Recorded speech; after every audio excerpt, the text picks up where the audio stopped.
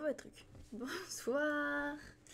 Bonsoir et bienvenue sur ce stream de lecture. L'heure c'est l'heure. Mais oui, Bahrain, bonsoir Bahrain.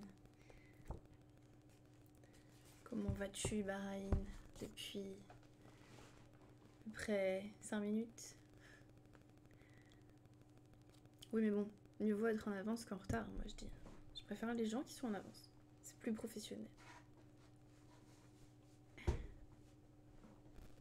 Et puis être en retard pour un rendez-vous pro, euh, c'est une bonne excuse, je suis désolée. Bonsoir Orangeous. Bonsoir. Non, on avance. J'avais autre chose à faire. Bah pourquoi t'étais là alors? Incroyable, incroyable cet homme.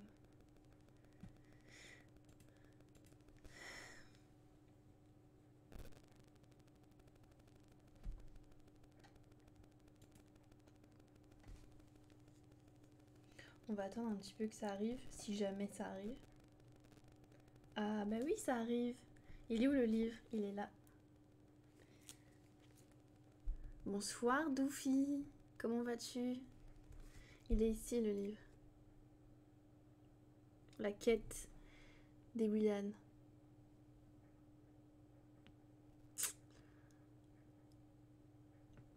Ça me fait bizarre de me voir en gros, en gros plan. Toi aussi, Doufy, on s'est vu tôt ce matin. Où sont nos exemplaires euh, Tu te calmes, d'accord, c'est pas mon livre. Le jour où je publie un livre, si tu veux, je t'en donne une. Hein Voilà, ça commence déjà. je vais très bien, euh, Doufy, merci. Ça va, merci. Et Willan et Nawel, il y avait un petit truc Bien vu, bien vu, euh, Orangeous. Mais c'est pas pour ça. Je l'ai pris parce que c'était du fantastique. C'est le genre de choses que j'aime beaucoup. Ça me faisait un peu penser justement au MMO. Et. Euh,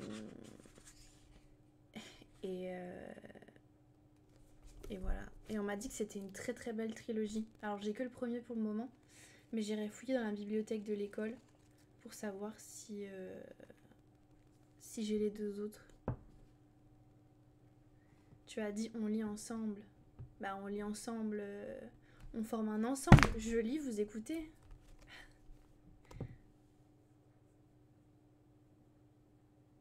Je suis éclatée, couchée à 6h. Bah écoute, on est plusieurs. Hein. La même, je me suis endormie qu'à 6h du matin.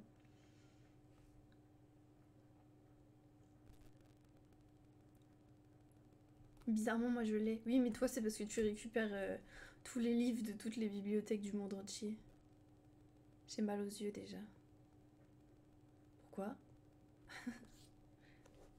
Vous m'entendez bien au moins? J'espère.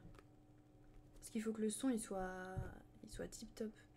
Parce qu'il faut que je parle posément, mais que vous m'entendiez euh, parfaitement. Oui, nickel. Parfait. Parfaitement parfait. Donc on ne lit pas. Ce n'est pas ensemble, c'est honteux, choqué, outré, sidéré. Non mais Bara commence pas, tu te calmes. tu m'as épuisé pendant je sais pas combien de temps on est resté ensemble euh, au micro avec Oni là? Merde, je sais pas, on n'a pas le truc.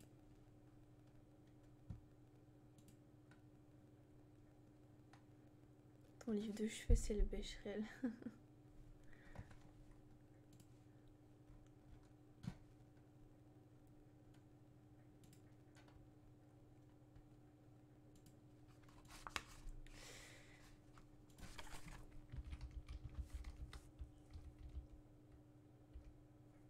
Ça arrive encore, oui.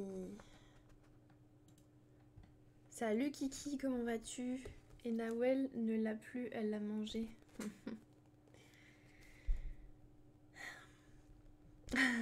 Ça promet. Ça promet. Moi, c'est la notice de mon Dyson. Euh, je veux dire de Jennifer.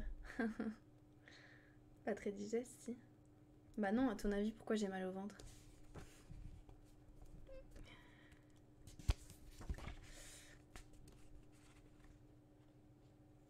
Du coup, euh, je profite que vous soyez euh, quelques, quelques-uns déjà arrivés pour, euh, pour vous demander... demander. Pour vous demander, bien sûr, de rester poli, courtois, respectueux, n'est-ce pas, Bahreïn? Et, et surtout, évidemment, ambiancez-vous dans le chat, vraiment avec un grand plaisir. Maintenant, simplement que moi, je ne vous lirai, donc je, évitez quand même de trop parler parce que sinon ça fait beaucoup de rattrapage. Je ne vous lirai qu'à la fin du chapitre. Et donc, ce qu'on va faire, c'est qu'en fait, on va faire des petites pauses après chaque chapitre pour qu'on en discute un petit peu, euh, un petit peu ensemble et, euh, que vous me dites que que vous ressentez sur ce que je vous ai lu. Je sais pas si c'est français. J'essaye, j'essaye. Un peu ballonné comme ça, Coranjous. Je suis courtois et respectueux, je mets l'ambiance. Parfait, bah. Et eh ben continue. Trop servi, c'est dimanche. Vous êtes, vous êtes déchaîné. Vous êtes déchaîné. Tant que vous n'êtes pas enchaîné, ça va. Français ce que tu lis? Oui, oui, c'est français. Je vais pas lire en anglais. Hein. Je vais pas m'amuser à lire en anglais. Et du coup, on s'arrêtera, euh, on s'arrêtera vers 20, 20h15, je pense. Et on fera un petit quart d'heure de discussion sur ce qu'on a lu. Parce qu'après, si on lit trop, euh, c'est pas, on va faire petit à petit. Si vous accrochez, voilà, on continuera.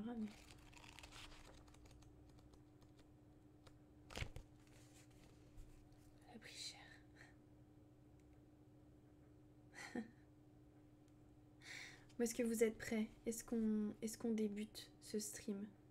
Est-ce qu'on commence la lecture? Moi, je veux des grands oui. Des oui positifs.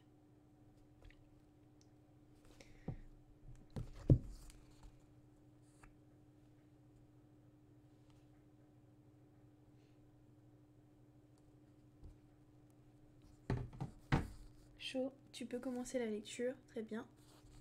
Oui. J'attends que ça. Je fais que ça d'attendre. Je me fais désirer, bah. Il n'y a que ça de vrai. Parfait. Alors du coup, je vous montre. On a cette petite map. Vous verrez pas énormément grand chose, mais voilà. On a cette petite map en début de, livre. Euh, donc qui présente le monde dans lequel nos personnages ont évolué. Voilà. Je découvre le livre en même temps que vous, hein, donc euh, forcément voilà. Donc, on est parti. On débute le premier chapitre.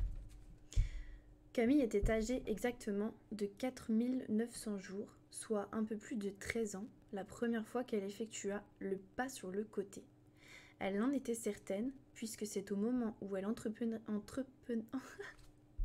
Ah, ça y est, et je suis perturbée. Vous savez pourquoi je suis perturbée? Parce que Bahrain, non mais je balance, hein, m'a dit que si je me loupais, il allait pas me, me rater. Voilà, donc du coup, euh, je me dis que si je me loupe, eh ben je vais pas être ratée. Voilà, ça commence. Donc je continue. Elle en était certaine, puisque c'est au moment où elle entreprenait des calculs savants pour connaître son âge avec précision qu'elle descendit du trottoir sans s'en rendre compte et se retrouva au milieu de la chaussée face à un énorme camion. Elle fut tirée de sa rêverie mathématique par le mugissement du klaxon.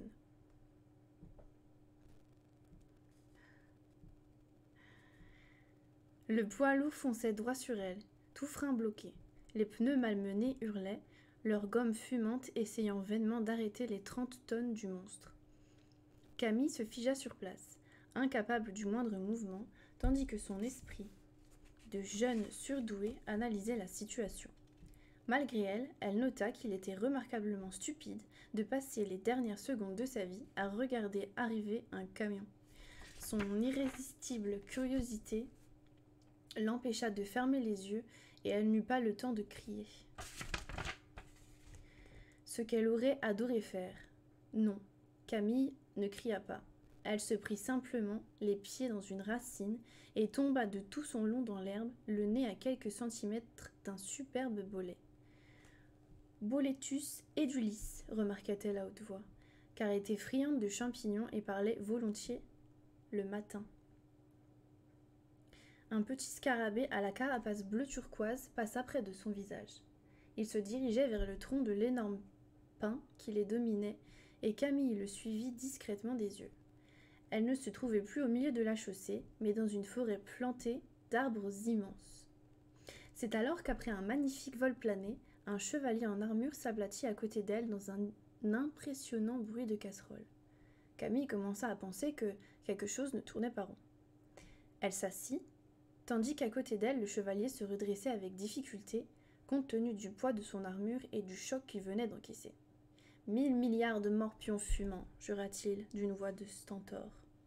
Il se tourna alors vers Camille, sans paraître surpris de sa présence. Veuillez m'excuser, jolie. Veuillez m'excuser, demoiselle. La joie du combat m'a fait oublier mes bonnes manières.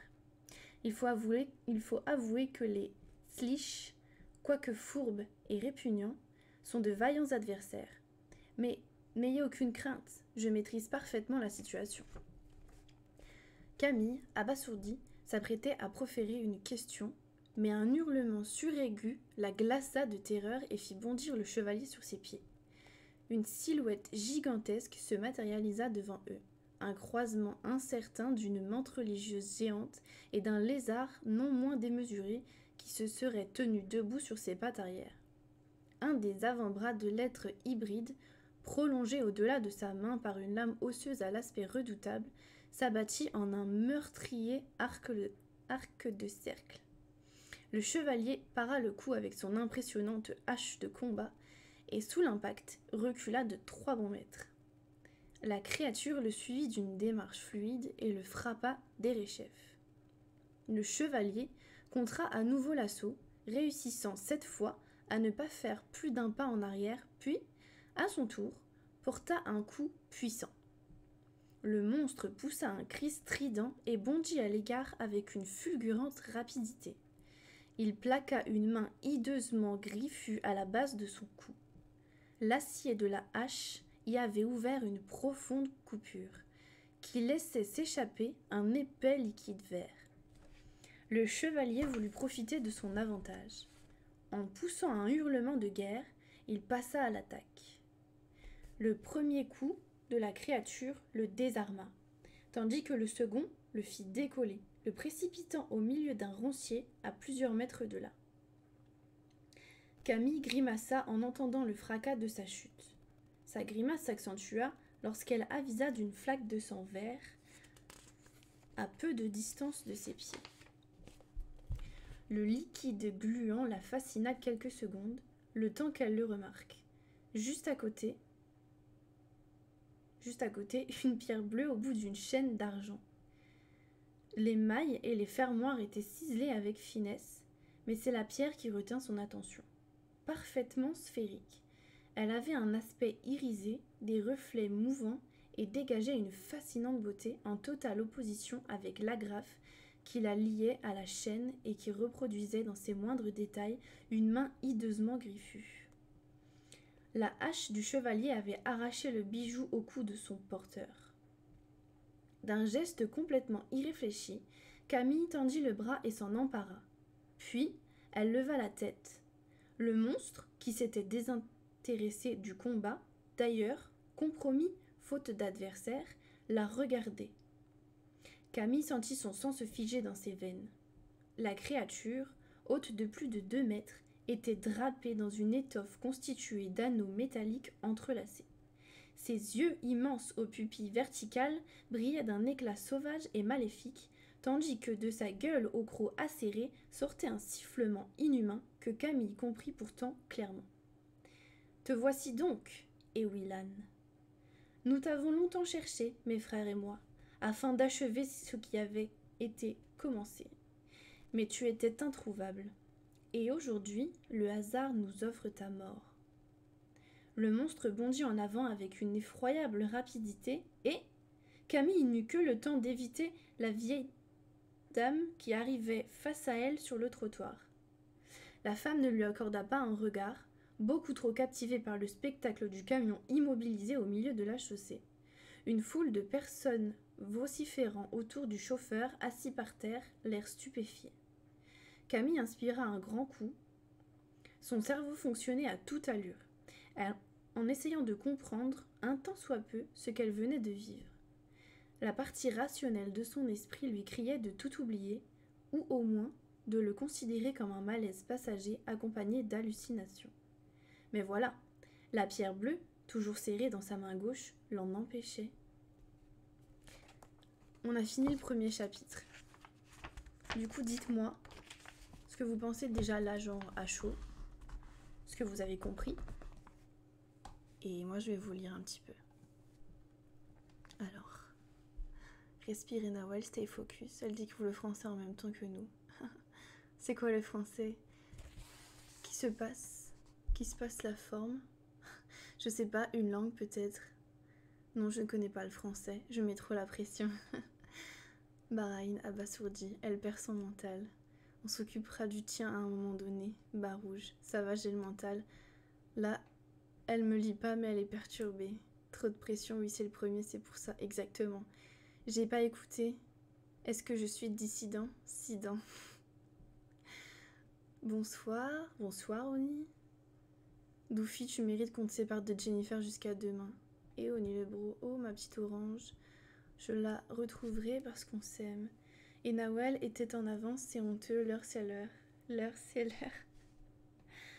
Pourquoi le sang est vert? Ben, j'ai pas vraiment l'information. En fait, j'ai envie de te dire, je pense que le sang vert, c'est principalement parce que c'est un hybride sans doute. Son sang est peut-être différent du, du sang humain. C'est le slish qui saigne. Exactement. Il y en a un qui suit au moins.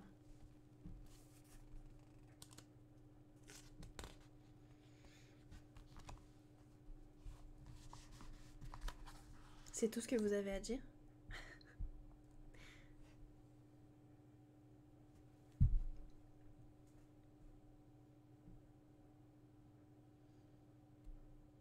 Ça plante le décor pour le moment, oui. J'ai pas entendu. Tu peux relire le chapitre 1, s'il te plaît? Non, tu regarderas la rediffusion.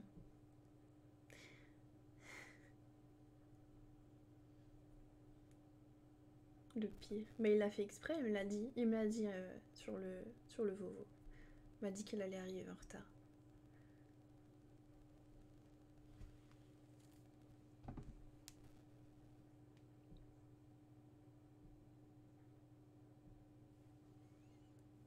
Normal, elle était en avance. En même temps, quand on arrive en retard. Hein. Et j'ai pas commencé à lire à 19h pile ou avant 19h. Hein.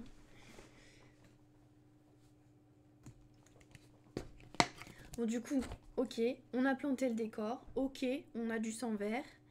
Et... pour le moment, on sait que le personnage principal s'appelle Camille. Mais que dans l'autre monde dans lequel elle a été plongée euh, à travers son accident, entre guillemets, euh, elle se fait appeler Ewilan.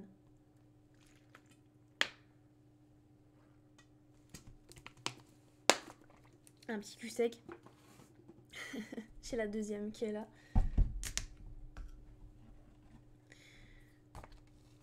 On est parti pour le chapitre 2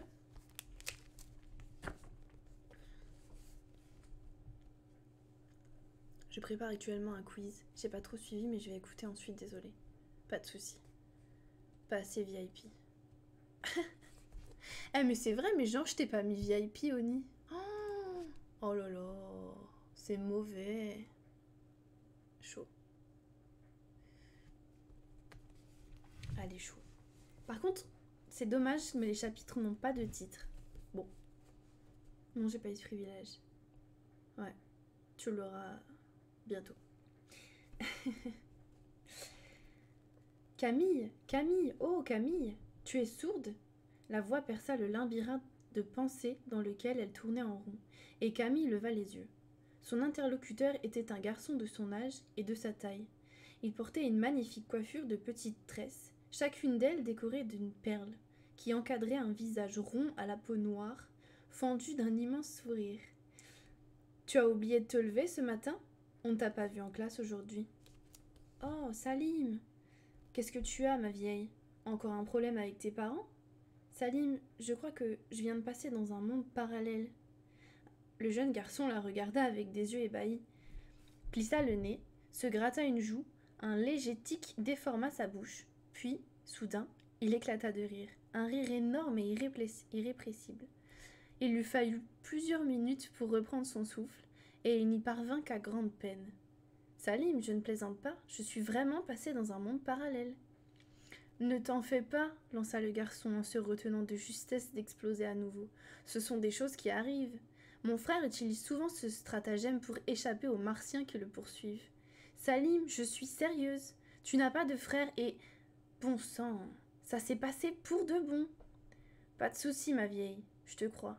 Je suis convaincue depuis longtemps que tu ne vis pas dans le même monde que nous.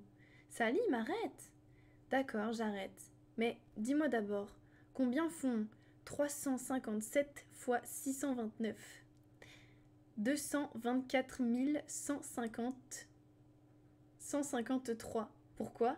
Pour rien. Quelle est la capitale du Burkina Faso? Ouagadougou. Mais qu'est-ce que t'occupe Qui a inventé le téléphone? Garam Bell. En 1876. Et un téléphone, c'était quoi au juste à cette époque? C'était au départ un transmetteur relié par un circuit électrique à pile au récepteur placé un peu plus loin. Le pavillon acoustique de l'émetteur était muni d'une membrane qui portait en son centre un disque de fer disposé devant un électroaimant. Le récepteur possédait une membrane identique posée sur un électroaimant cylindrique et stop stop merci. Je voulais juste être sûre que tu n'étais pas devenue folle. Camille croisa les bras en regardant son amie dans les yeux. Elle sentait toujours la pierre au creux de sa main, mais elle n'avait plus envie de la montrer même pas à Salim. Elle la fit tourner une dernière fois entre ses doigts et la laissa tomber au fond de la poche de son jean. Ça roule. Salim, maintenant que tu es rassuré, on se paye une glace? D'accord, ma vieille, c'est une idée d'enfer. Salim, je ne suis pas ta vieille. J'ai 4900 jours, c'est-à-dire exactement 4 mois et 18 jours de moins que toi. Si je te fais cadeau de ces heures, de, des. Cela dit, pour être vraiment honnête, je ne garantis pas le résultat à 100%. Tu sais très bien que je ne suis pas certaine de ma date de naissance. Mais quoi qu'il en soit, même si je mets en doute, je le fais volontiers, ce qu'affirment mes parents, je suis absolument certaine de ne pas avoir plus de 14 ans. Compris? Je me disais aussi que pour une vieille, euh, t'es pas mal. Ils continuèrent à se chamailler en s'éloignant le long du fleuve qui miroitait sous le soleil de mai et atteignirent le parc où ils étaient sûrs de trouver leur marchand de glace favori. Derrière eux, sur l'avenue paralysée, les conducteurs commençaient à descendre de leur véhicule. L'attroupement grossissait autour du chauffeur qui refusait catégoriquement de remonter à bord de son camion. Je vous dis qu'il y avait une fille sur la chaussée, là, juste devant moi, hurlait-il, et elle a disparu tout d'un coup mais Camille et Salim étaient déjà loin. Un peu plus tard, ils se perchèrent sur le dossier d'un banc de bois. Salim tenait une énorme glace à la fraise dans une main, tandis qu'une balle multicolore virevoltait dans l'autre. Tout de même, s'exclama-t-il, je te trouve gonflé d'être allé à la bibliothèque plutôt qu'en cours. Ne t'en fais pas, Salim, j'ai calculé mon coup. Tu n'as pas peur que tes parents s'aperçoivent que tu as séché? D'abord, ce ne sont pas mes parents, et honnêtement, à partir du moment où je rapporte de bons bulletins et que je me tiens bien à table, ils se fichent complètement de ce que je fais. Et puis, rassure-toi, c'était exceptionnel. Camille mordit un, coup, un bon coup dans son cornet à la vanille. Le froid sur l'émail de ses dents la fit grimacer. Mais c'était comme ça qu'elle aimait les glaces, et non pas en les suçotant du bout de la langue. Salim venait de finir la sienne. Il descendit du banc et se campa face à Camille. Il sortit deux balles supplémentaires de son blouson et commença à jongler. À, jongler. à deux mains d'abord, puis avec une seule. T'as vu, Willan La classe, non? lança-t-il. Le soir, je m'entraîne avec quatre balles. Bientôt, je te montrerai ça. Euh, comment tu m'as appelé? Surpris par le ton de sa voix, Salim laissa tomber ses balles. Cool, ma vieille. J'ai sorti ça comme ça. Ça se justifiait-il en souriant? Pas la peine d'en faire tout un fromage. Je veux juste que tu répètes ce que tu viens de me dire, Salim, ordonna Camille d'un ton tranchant. Tu dois être capable de te souvenir d'un mot que tu viens de me prononcer, non? Salim la regarda avec de grands yeux ronds. Elle ne plaisantait pas, et la scène offrait un contraste saisissant avec le caractère posé et enjoué qui était habituellement le sien. Ewilan, je t'ai appelé Ewilan. J'ai sans doute piqué ça dans un film ou dans une BD, mais euh, si ça te fait cet effet-là, c'est sûr que je ne recommencerai pas. Camille observa quelques secondes. Les paroles menaçantes du monstre résonnaient encore à ses oreilles. Il l'avait appelé ainsi, Ewilan.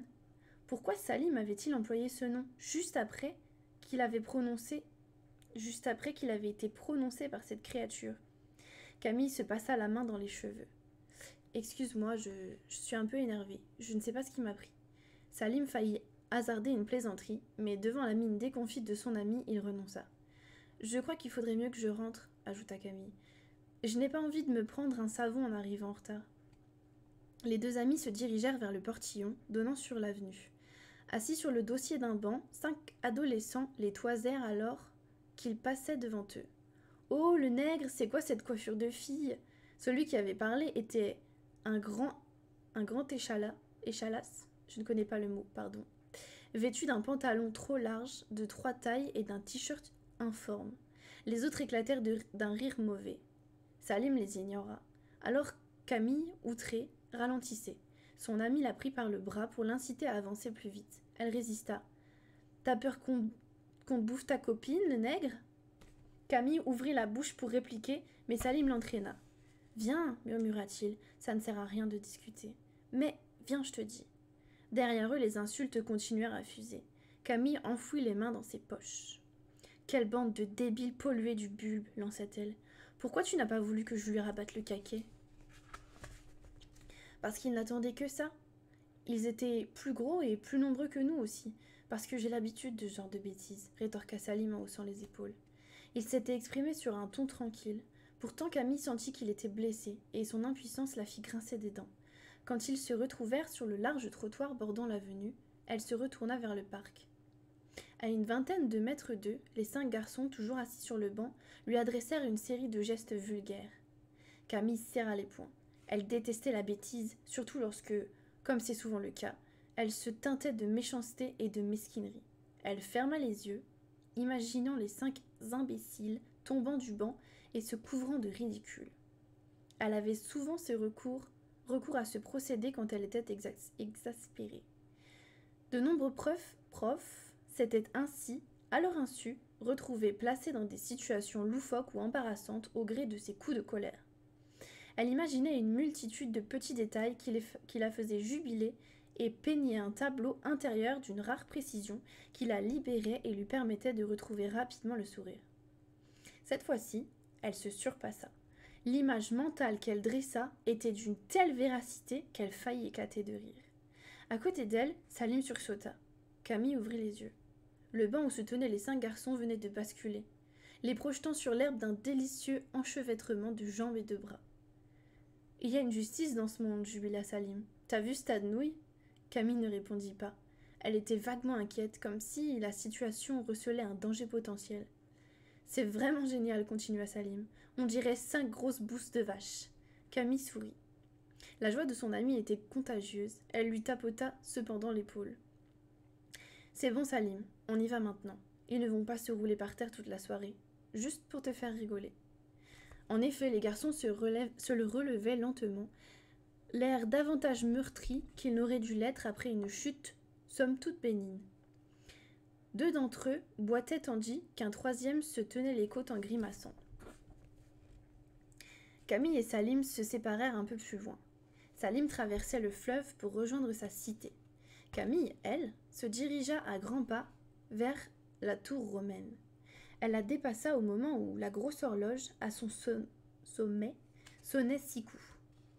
Elle savait très bien que ses parents attendaient qu'elle respecte à la lettre les rares consignes qu'ils lui donnaient. En l'occurrence, être toujours rentrée avant 18 heures. Le châtiment qu'elle encourait en dépassant l'horaire variait en fonction du nombre de minutes de retard. Un quart d'heure n'impliquerait qu'un petit sermon qui, par avance, la laissait indifférente. Elle était, par contre, beaucoup plus troublée par ce qu'elle venait de vivre. La scène à laquelle elle avait assisté était strictement identique à celle qu'elle avait imaginée, et cette similitude ne pouvait être fortuite.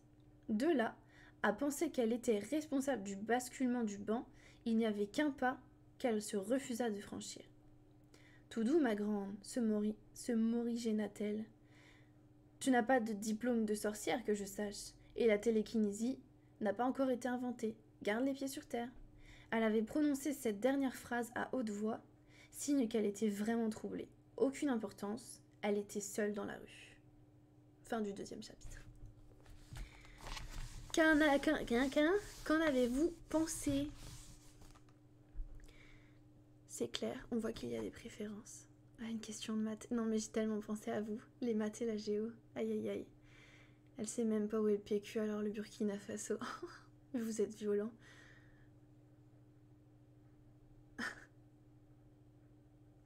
Elle a un sacré caractère, la petite. Oui, Camille a un sacré caractère. Et apparemment, elle a un sacré pouvoir aussi.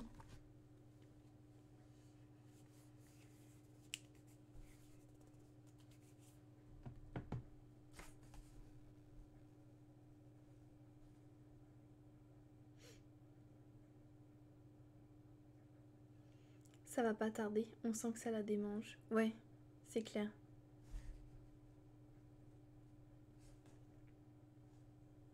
C'est tout, je pense qu'on a perdu les autres. J'ai un milliard de questions. Par rapport au livre? Vas-y, pose-les, profite-en. Pose-les peut-être plus maintenant si c'est pour les deux premiers chapitres. Parce qu'après, euh, si on en lit beaucoup plus, euh, tu vas peut-être être perdu. Camille va craquer. Par contre, du coup, enfin, je suis pas très. Euh, voilà, je suis la première à blâmer tout ce qui est relations amoureuses, que ce soit dans les Disney, etc. etc. Enfin, c'est surfait, on voit que ça, et les gens essayent de vendre leur histoire beaucoup trop avec les histoires d'amour. Et là, pour le coup, j'ai l'impression quand même que, que avec son ami, genre, il y a de l'amitié, mais il y, a un petit truc, quoi. Genre, la petite phrase quand il lui a dit. Euh, pour une vieille, euh, t'es plutôt pas mal. Euh, c'est quand même une petite phrase d'accroche, quoi. On se calme.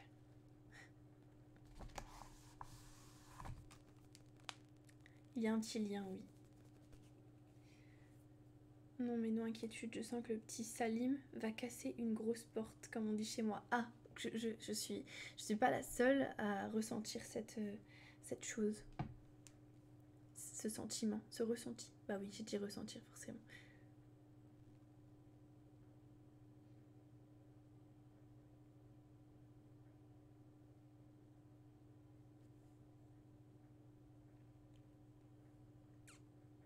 En tout cas, je vois que mon Whisbot est enfin euh, bien lancé.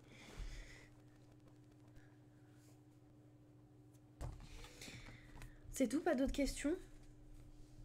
En tout cas, tu lis bien, c'est agréable. Merci, c'est très gentil. J'essaye. Après, je suis un peu rouillée parce que la lecture à voix haute, ça date. Euh, ben, la dernière fois que j'ai lu à voix haute, c'était pour les bébés en crèche.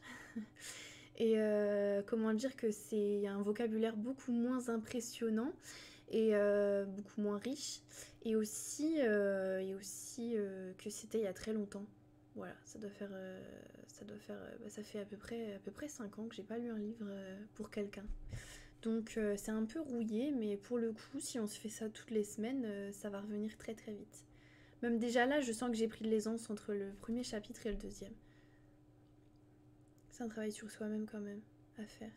De faire ça. Bah, euh, oui. Et en fait, le fait, euh, le fait de ne pas avoir de retour vocal, ça m'aide à me sentir moins gênée je me vois, hein, je vois, je vois ma, je vois ma figure là en face de moi. Hein, j'ai mon stream, mais euh, ça me gêne moins que si par contre j'avais un retour vocal direct. Là, je serais fort gênée et là, je pense que je rougirais, etc., etc. Je serais, je serais beaucoup plus mal à l'aise.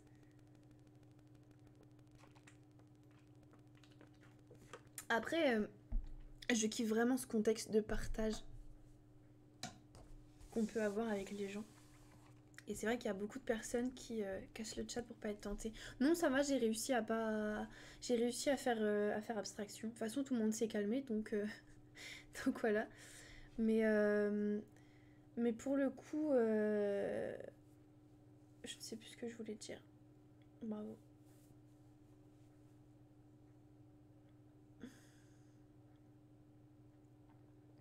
Après, je pensais que ça allait plus me déshydrater que ça, mais ça va. On s'en sort bien.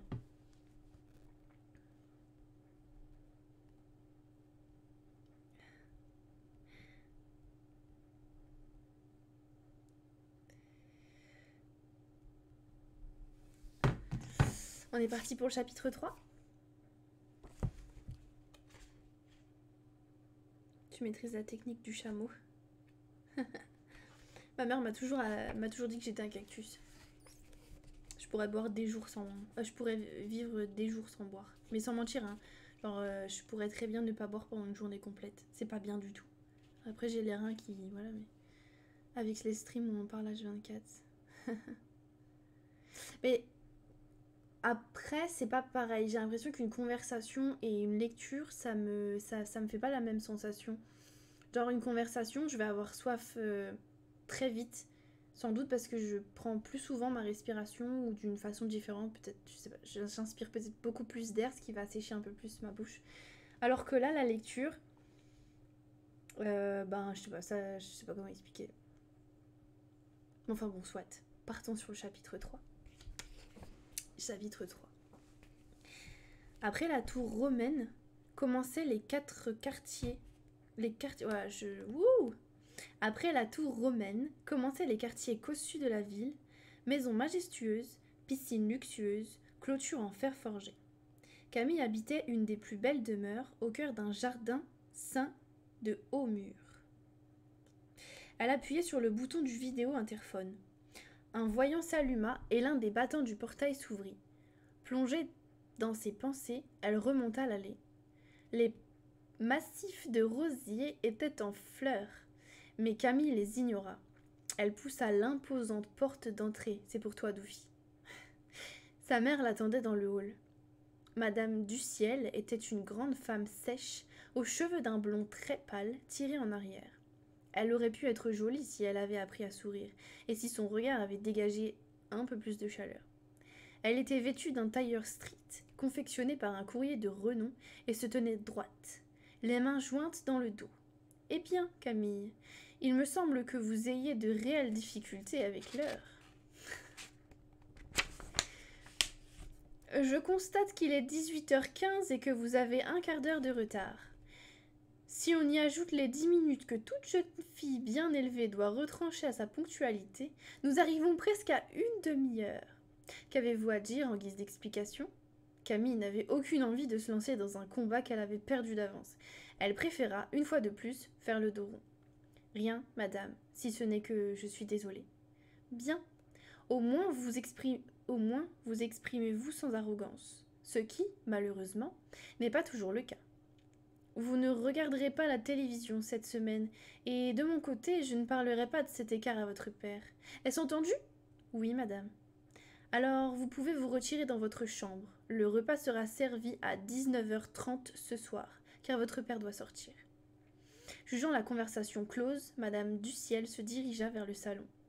Camille fut, soudain prise d'une envie irrésistible de provoquer cette femme qui cultivait la froideur comme d'autres les bégonias. Vous ne voulez pas savoir ce que j'ai fait aujourd'hui? Madame Duciel ne se retourna même pas. Et si vous appreniez que je ne suis pas allée en classe? Madame Duciel s'immobilisa et passa une main sur une fragile commode. Elle tourna lentement la tête vers Camille et lui jeta un long regard scrutateur. Je serais, nous serions, très déçus. Nous vous avons beaucoup donné, Camille. Soyez donc toujours attentive à vous rappeler vos devoirs. Mais cela n'était qu'une boutade, bien entendu. Bien entendu, affirma Camille avec son plus grand charmant sourire. Et maladroite, je le crains. Ce n'est rien. Allez maintenant. Camille gagna sa chambre en se demandant pour la millième fois si cette femme se prétendait qui se prétendait sa mère éprouvait pour elle la moindre affection. Elle ne se remémorait rien de ses parents, ni de sa petite enfance. Elle avait appris que les premiers souvenirs conscients d'une personne datent en général de sa troisième année, or elle ne se rappelait rien d'avant ses six ans. Son premier souvenir était par contre très net. Elle revoyait d'une manière précise le bureau du juge qui accordait sa garde à monsieur et madame Duciel, ses parents adoptifs. Elle se souvenait de ce qui avait été dit ce jour-là, comme elle se rappelait parfaitement de ce qu'elle avait vu, entendu ou lu depuis. Mais elle avait beau chercher, nulle part dans ses souvenirs il n'y avait trace d'un geste d'amour des Duciel envers elle. Tout petit chapitre, chapitre 3. Tu maîtrises la technique. Ah merde. Avec les streams, hein, hein, elle fait peur, Madame du Ciel. Ben, en fait. elle fait peur. Elle est stricte, en fait, c'est tout. Elle est très stricte. Trop, peut-être. Euh, ça a l'air d'être une dame un peu bon chic, bon genre. Qui parle ceci dit euh, très bien. Euh, je sais pas, ça me donne un peu le stéréotype de la femme bourgeoise qui, qui désire avoir un enfant parfait. Et pourtant, c'est pas la sienne.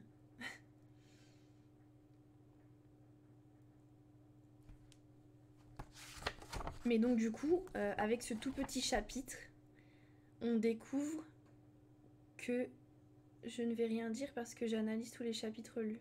Je vais être infect. Non, mais vas-y, c'est très bien, c'est parfait. Euh, mais du coup, on découvre que donc Camille, comme il a été évoqué le chapitre avant, est une petite fille, jeune fille, parce que bon, euh, qui a été adoptée donc par Monsieur et Madame du Ciel. Et donc euh, on, nous montre un petit peu son univers à elle qui n'est pas très simple et donc qui expliquerait pourquoi elle est énormément dans tout ce qui est euh, mathématiques, etc. Peut-être qu'elle s'est, elle créée un univers à elle, un petit cocon où elle est très à l'aise en mathématiques et du coup elle se fait son petit monde autour de ça. Voilà. Je pense. C'est ce que je pense de ce personnage. Oui, Kiki. C'est un oui positif. Exactement. Orange qui, ne sait dire que exactement. Les chapitres ne sont pas très longs, hein. c'est toujours 2-3 pages euh, à chaque fois.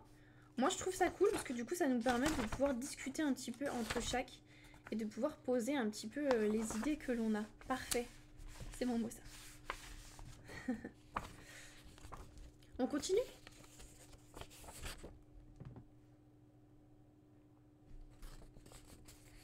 Précoce intellectuellement, j'ai l'impression, cette petite Camille. Comme beaucoup d'enfants, ceci dit. Hein.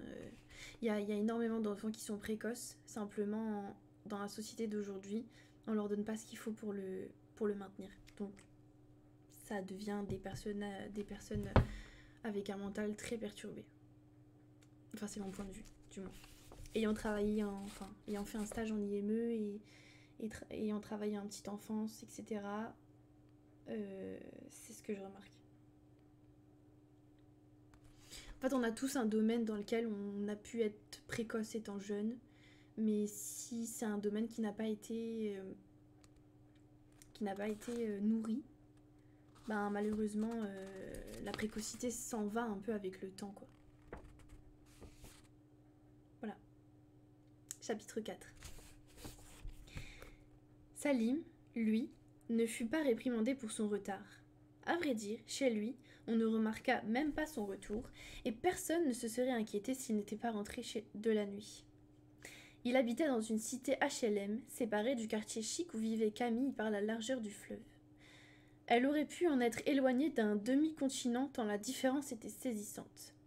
Les façades de la cité, les peintres, étaient régulièrement ravalées par les différentes municipalités, soucieuses du paraître. Il ne s'agissait pas que l'on accuse la petite ville de province et riche de tant de monuments historiques d'être gangrénée par une banlieue à problème. À l'intérieur, c'était une toute autre histoire.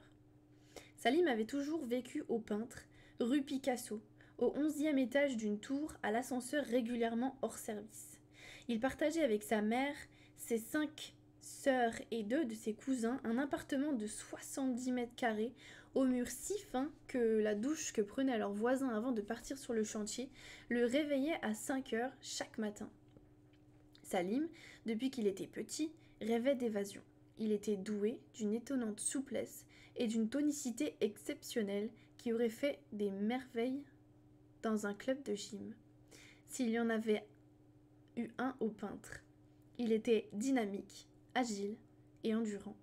Mais il avait conscience de ses qualités mais il avait conscience que ses qualités ne lui ne lui permettraient pas de fuir sa cité et que s'il voulait arriver à quelque chose dans la vie, il lui faudrait beaucoup plus de courage, de travail et de chance. Il était courageux, travailleur, et sa chance, il l'avait eue en rencontrant Camille. Oh, c'est mignon. Elle n'aurait pas dû se retrouver dans le même collège que lui. Les rares enfants de Nantis qui vivaient sur le plateau de la tour romaine étaient inscrits dans le coûteux établissement privé. Le collège du coin étant jugé trop malfamé par leur famille et ouvrant des perspectives scolaires insuffisantes. Seuls les parents de Camille l'avaient inscrite là, preuve, selon Salim, qu'il ne lui prêtait qu'une attention de façade et n'envisageait pas de se compliquer la vie pour elle. Salim essayait, tant bien que mal, de tracer son chemin en classe. C'était une tâche que sa famille, pour qui la réussite scolaire était secondaire, compliquait singulièrement. Il avait découvert Camille en entrant au collège trois ans plus tôt. Rien, a priori, ne la distinguait des autres élèves. Mêmes vêtements, mêmes affaires, même démarche. Mais il sentit aussitôt qu'elle était différente. Elle était jolie, très jolie, avec d'immenses yeux violets, beau à vous faire tourner la tête. Mais il y avait autre chose. Cette impression fut confirmée dès le premier cours. Leur prof de maths, un homme entre deux âges, l'air un peu désabusé, entreprit de tester leurs connaissances. Pour la majorité des élèves, ce fut une chose accomplie en quelques minutes. Salim tient, tint le coup un peu plus longtemps, mais avec Camille, le prof tomba sur un os. Elle résolut les premiers exercices avec une telle facilité que une petite lumière de plaisir étonné s'alluma dans l'œil de l'enseignant. Il corsa ses questions, tendit des pièges. Camille répliqua avec la même aisance. La classe commença à s'agiter et le prof fronça les sourcils. Il passa au programme de troisième, ce qui ne sembla pas gêner sa nouvelle élève, et si la lumière brillait toujours dans l'œil du prof, elle se teinta d'agacement. Des questions datant de ses souvenirs de fac, auxquelles Camille répondit sans coup férir, sans coup férir, lui donnèrent à penser que le phénomène qui lui, laissait, lui faisait face était peut-être meilleur que lui en maths. La sonnerie de fin de cours lui enleva la douloureuse possibilité de vérifier cette hypothèse. Salim profita de l'intercours pour lier connaissance avec Camille, et ce premier jour de classe marqua le début d'une indéfectible amitié. Il ne savait pas trop quelle raison elle avait de les fréquenter, mais elle avait l'absolue certitude qu'elle était le génie qui, tôt ou tard, transformerait sa vie. Ah, il avait, pardon. C'est plus logique. Il avait en elle une confiance inébranlable. Ce soir-là, quand il rentra chez lui, l'atmosphère lui parut encore plus confinée que d'habitude, presque irrespirable. L'appartement résonnait des piaillements des sœurs, des vociférations de la télé que ses cousins regardaient en continu, des cris de sa mère qui piquaient une colère à tout bout de champ. Salim attrapa de quoi grignoter dans le réfrigérateur et essaya de trouver un endroit calme pour faire ses devoirs. C'était, bien entendu, chose impossible, et il se résigna comme tous les soirs à se réfugier sur le balcon. Il s'était aménagé là un recoin à l'aide de carton, d'un dessus de machine à laver et d'un vieil étendoir déglingué. C'était son domaine et, malgré son caractère paisible, il n'avait pas hésité à distribuer sans compter des claques à toute sa fratrie jusqu'à ce qu'elle comprenne que c'était une zone interdite. Salim s'installa du mieux qu'il put et ouvrit son livre pour essayer de comprendre le théorème de Pythagore. Aussitôt son esprit s'échappa vers Camille qui, elle, n'avait certainement pas besoin de réviser quoi que ce soit.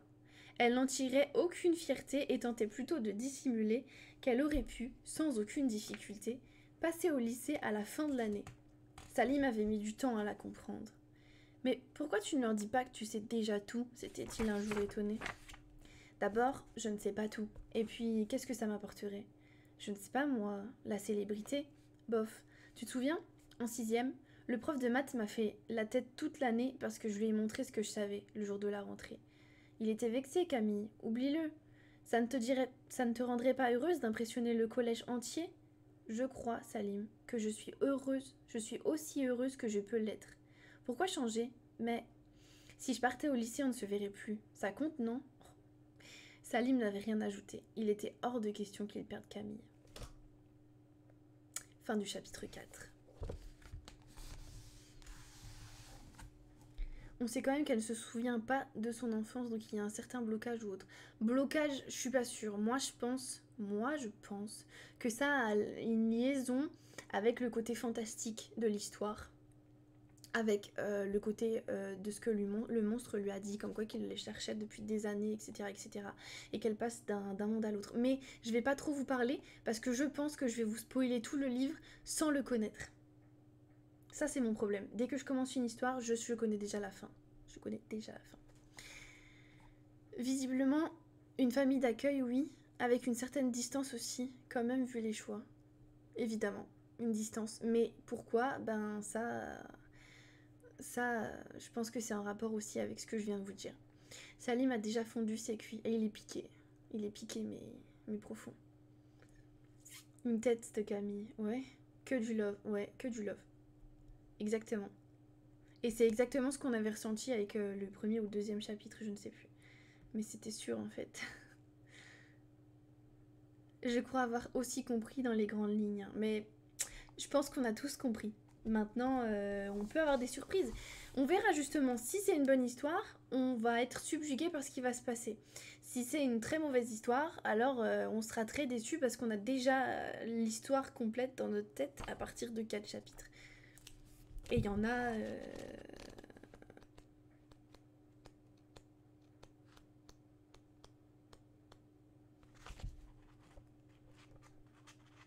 il y en a beaucoup. Ça, c'est même pas des chapitres en vrai. Hmm. Il est quelle heure? 19h52. Bah, on va continuer sur le chapitre 5. Et vraiment à 20h15, euh, comme ça je vous, donne la parole. On discute un petit peu de tout ça tous ensemble. Et, euh, voilà, ce sera un tout petit stream. Euh, tout petit stream. À moins que vous soyez chaud après pour qu'on continue, hein, ça, moi je vous suis après. Allez, bouillant pour la suite. Allez, c'est parti. Chapitre 5 Camille, en effet, ne révisait pas. Elle étudiait. Après un rapide repas, pris avec ses parents dans un silence presque complet car son père était préoccupé, elle s'était réfugiée au premier étage, dans la bibliothèque. La bibliothèque est l'âme d'une maison. Tous les gens d'une bonne naissance le savent. Il aurait donc été inconcevable aux yeux des du ciel qu'une demeure comme la leur ne, ne comprenne pas une telle pièce où les hôtes de marque et le maître des lieux se retirent après le repas pour fumer un cigare et boire un verre de cognac. Mais une fois la maison achetée, la pièce dédiée des du ciel s'était aperçue qu'il n'y avait strictement rien à y ranger. Triste. Monsieur Duciel avait résolu le problème en acquérant aux enchères l'intégralité de la bibliothèque d'un vieux marquis écrasé de dettes. Il avait fait installer les livres dans de beaux rayonnages en bois, de, en bois de noyer, et plus personne ne les avait ouverts. Triste encore. Lorsque Camille avait émis le désir de les consulter, M. Duciel avait hésité, pour la forme, avant d'accepter. N'ayant aucune idée de ce qu'il avait acheté, il était persuadé que sa fille adoptive avait déniché quelques ouvrages pour la jeunesse, la jeunesse, qu'elle déchiffrait avec peine. Il avait longuement sermonné sur la valeur des livres, le respect qu'on leur devait, et puis c'était, à son habitude, désintéressé d'elle et de ses activités. Lové dans un profond fauteuil de cuir, Camille, comme Salim, s'intéressait à Pythagore. Là s'arrêtait la similitude. Camille n'avait aucune difficulté à utiliser le théorème. Curieuse de nature, elle voulait en savoir plus sur ce mathématicien qui avait révolutionné la géométrie. Elle fut étonnée d'apprendre que les renseignements sur sa vie étaient rares mais alléchants.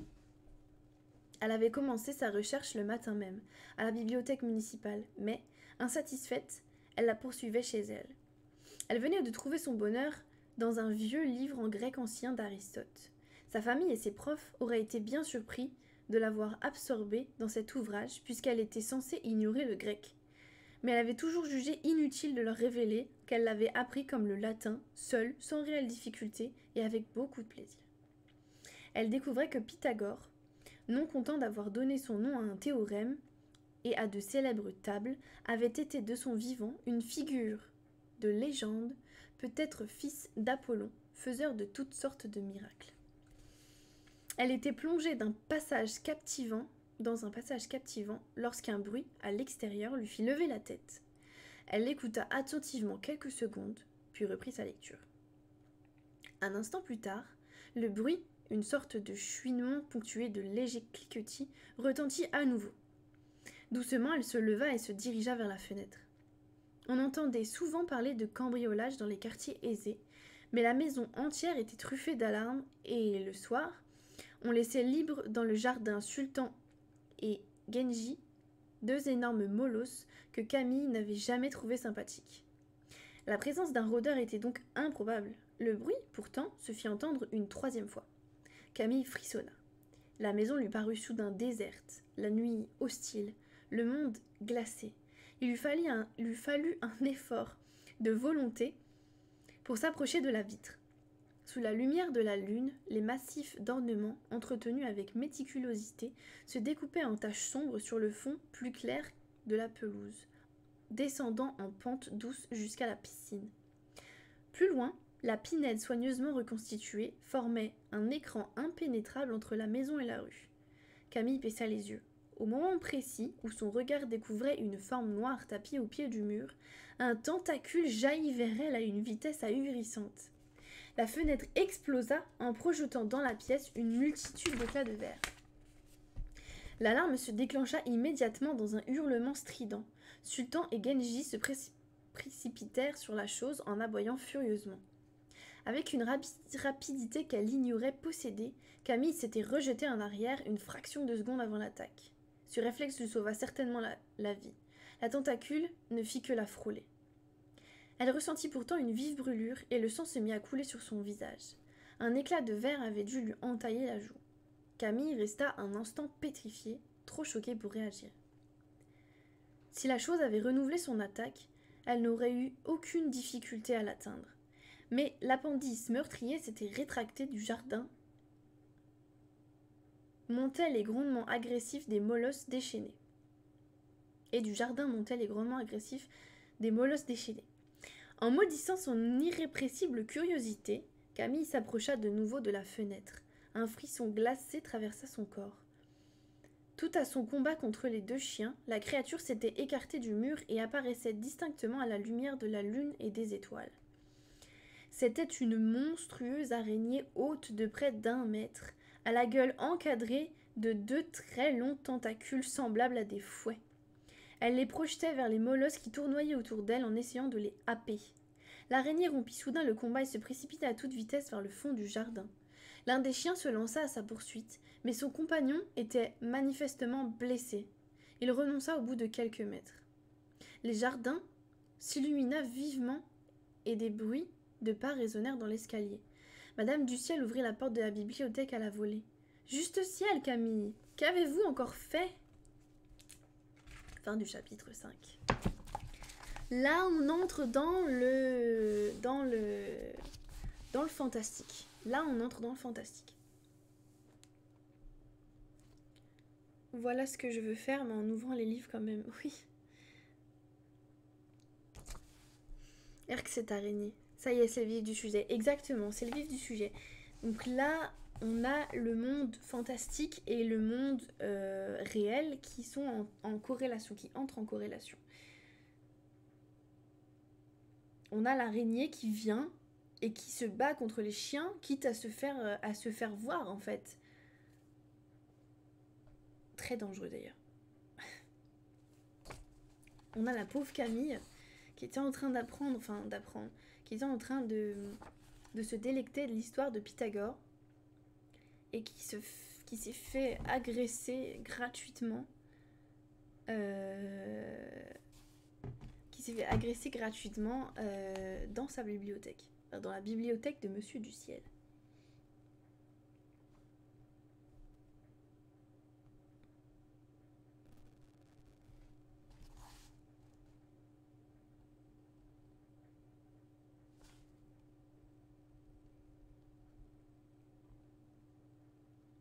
C'est intéressant au moins. Ça me fait penser un tout petit peu au monde de Narnia, mais en plus adulte. Euh, oui, oui, c'est vrai en quelque sorte, les deux mondes, le fantastique et le réel. Euh, les protagonistes sont des enfants au début, au début de l'histoire. Euh, oui, on, on peut. Maintenant, on ne connaît pas vraiment, on ne sait pas vraiment à quoi ressemble le monde, le monde irréel. On ne sait pas s'il est aussi beau que le monde de Narnia. Mais, euh, mais oui, il y a un peu de ça. Il n'y a pas d'armoire, mais visiblement des portes pour toi, Doufy. ah oui, t'as vu le petit clin d'œil, le petit wink wink.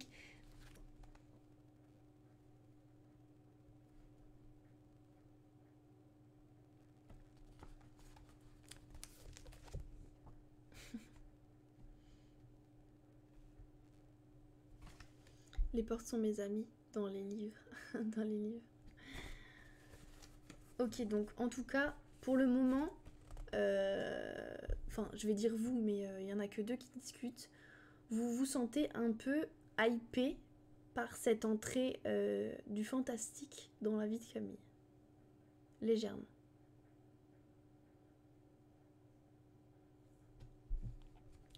On va poursuivre le chapitre 6 du coup. Carrément, mais carrément. Ça fait quatre fois, je crois que tu le dis. Parfait. Chapitre 6.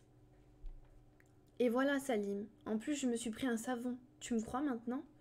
Camille marchait près de son ami. Un pansement barrait sa joue gauche et sa paupière était enflée. Elle s'était levée plus tôt que d'habitude et avait téléphoné à Salim pour lui donner rendez-vous au parc un peu, un peu avant le début des cours. Elle lui avait tout raconté de son aventure sur la chaussée, la veille, n'hésitant plus à lui parler de la pierre bleue. Il n'avait pas ri, cette fois. Il l'avait écoutée avec attention, les yeux fixés sur sa joue blessée. Et ton père n'a pas voulu te croire Non, bien sûr. Ma mère l'a appelé et il est rentré immédiatement, de très mauvaise humeur. Elle était persuadée que c'était moi qui avais cassé la fenêtre et déclenché l'alarme, et me secouait des puces depuis une me secouait les puces depuis une demi-heure quand il est arrivé. Il s'est aperçu que les buissons étaient piétinés sous la fenêtre et qu'un des chiens, Genji je crois, saignait. Il en a conclu qu'un rôdeur avait réussi à, réussi à franchir les murs d'enceinte. Ce n'était même pas la peine que j'essaye de leur parler de cette foutue araignée. Ils ont averti la police Oui, mais personne ne s'est dérangé. Tout a été réglé par téléphone. Quel bazar lance Salim. Qu'est-ce que tu comptes faire? Aucune idée, ça me soulage d'en parler, parce que, entre l'histoire du changement de monde et celle de l'araignée, j'ai l'impression de perdre un peu les pédales. Camille se tut un instant. Elle reprit un ton plus bas, et en plus, j'ai vraiment peur. Salim eut un sourire, qui se voulait rassurant. Pas de souci, ma vieille, on va s'en sortir. Tu l'as sur toi, ce caillou? Camille mit la main dans la poche de son pantalon et sortit la pierre au bout de sa chaîne. Paume ouverte, elle la présenta à Salim, et ils se penchèrent pour l'observer. Tu m'as parlé d'une pierre, remarqua Salim, mais ça ressemble davantage à une bille. On aurait pu croire, en effet, à une simple bille de verre, mais, en son cœur, d'étranges volutes bleutées formaient un dessin en continuel mouvement, et sa surface, parfaitement lisse, avait un aspect irisé étonnant. Je pensais à une pierre précieuse, précisa Camille. De quel type? Un diamant? Je ne crois pas, plutôt un saphir. Je peux la prendre Camille haussa les épaules et Salim tendit la main. Ses doigts s'arrêtèrent à quelques centimètres du bijou. Il fronça les sourcils. Je. je n'y arrive pas. Comment ça, tu n'y arrives pas? Salim semblait abasourdi. Je n'arrive pas à la saisir. J'essaye, mais, mais c'est impossible. Camille le regarda avec un air grave. Tu veux dire que la pierre te repousse? Non, j'ai l'impression que, quand ils approchent, mes doigts arrêtent de m'obéir. Je n'arrive pas à les forcer à la toucher. Ouvre ta main, ordonna Camille. Un peu réticent, Salim obéit. Quand Camille voulut lui déposer la pierre, il retira brusquement son bras et elle tomba par terre. Désolée, ma vieille, je ne l'ai pas fait exprès. On dirait que ce et moi, nous ne sommes pas faits pour nous entendre. Ça prouve qu'il y a quelque chose d'extraordinaire, non? Tu veux qu'on essaye en te bloquant le poignet? proposa Camille en ramassant le bijou. Salim fit une grimace. Si ça ne te vexe pas, je préférais éviter. Camille remit la pierre dans sa poche, non sans l'avoir auparavant observée attentivement. La graffe qui la liait à la chaîne lui rappelait les griffes du monstre qui l'avait attaquée, mais elle ne parvenait pas à la, trouver repoussante. Au contraire, quel mystère dissimulait ces insolites volutes bleues Ils prirent le chemin du collège en silence, l'esprit occupé par un saphir étrange et une monstrueuse araignée. À l'entrée de l'établissement, ils contournèrent prudemment un groupe d'élèves de troisième qui parlaient fort et s'agitaient.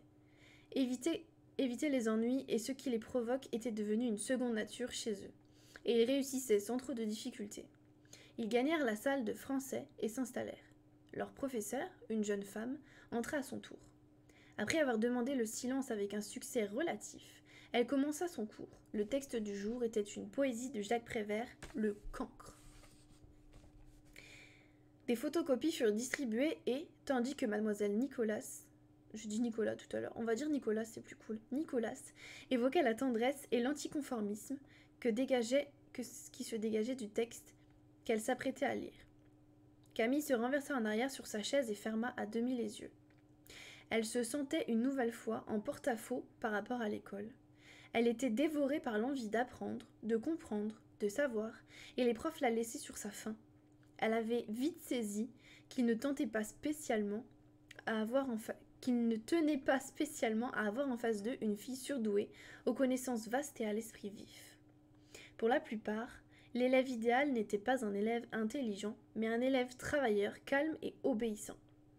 Elle se savait incapable d'entrer dans ce moule, mais s'efforçait de faire semblant. Elle maîtrisait bien son rôle, et si parfois elle s'abandonnait à un éclat de brillance, la plupart du temps les profs pensaient avoir affaire à une élève douée, mais dans la norme. Camille sourit. Elle appréciait Prévert, et qu'elle et qu'elle ait déjà lu la bonne partie de son œuvre n'enlevait rien au plaisir qu'elle avait à le rencontrer ce jour-là. Elle aurait simplement aimé que la classe soit plus calme afin de savourer le poème en, en toute quiétude. Elle avait de l'estime pour sa prof de français et regrettait que la nature du collège ne lui laisse pas la possibilité de mieux gérer ses cours. Mademoiselle Nicolas, pour motiver ses élèves, essayait de leur faire mettre en correspondance l'image du cancre décrit par Prévert et la réalité de l'école. Devant le peu de succès de son idée, elle décida de lire le texte à haute voix. Dès le premier vers, Camille fut happée par la magie de la poésie. Elle, adorait entendre lire, surtout avec autant de qualité et de cœur.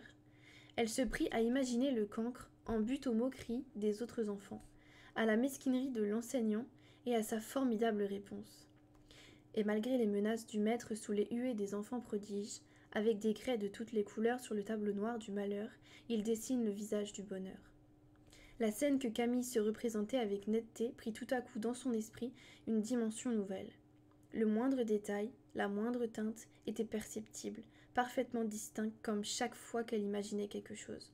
Mais cette fois-ci, cela allait plus loin. Une porte mystérieuse s'était ouverte. Le tableau, les couleurs, les personnages lui appartenaient. Elle tendit son esprit, ajoutant elle ajouta une touche de rouge, imaginaire, modifia légèrement une courbe. À côté d'elle, Salim fit un bond. Quelqu'un poussa un cri, et le professeur cessa de dire, de lire. Camille ouvrit les yeux. La classe était en effervescence. Et c'est en suivant le regard de Salim qu'elle comprit. Derrière mademoiselle Nicolas, le tableau était entièrement couvert de couleurs vives, formant une image, certes abstraite, mais au sens très clair. Le bonheur. C'est beau. Tu es sûr que c'était toi? lui demanda Salim. Ils étaient en récréation. L'incident avait créé un événement au collège, d'autant plus que le tableau était recouvert non de craie, mais d'une sorte de peinture qui adhérait parfaitement à sa surface. La deuxième heure de cours n'avait pu être assurée par le professeur de français qui avait quitté le collège, et les, élèves s'étaient retrouvés dans la cour. Elle la rage quitte. J'en suis certaine, et j'ai même eu l'impression qu'hier au parc, j'ai eu la même impression qu'hier au parc. J'ai imaginé la scène, ou plutôt je l'ai modifiée dans ma tête. Mais on fait tous ça. Non, il y a une différence. Et là, j'en ai conscience. À un moment, j'ai basculé dans une dimension où j'ai imaginé exactement ce qu'il y avait sur le tableau. Et quand j'ai ouvert les yeux, ça alors, ma vieille, à côté de toi, les X-Men sont de vieillards gâteux. Salim, je n'ai pas envie de rire. Qu'est-ce que je vais faire? C'est simple. Si on, était dans un, si on était dans un film, tu apprendrais à maîtriser ton pouvoir et tu l'utiliserais pour régler son compte à l'araignée cosmique. Salim, on n'est pas dans un film.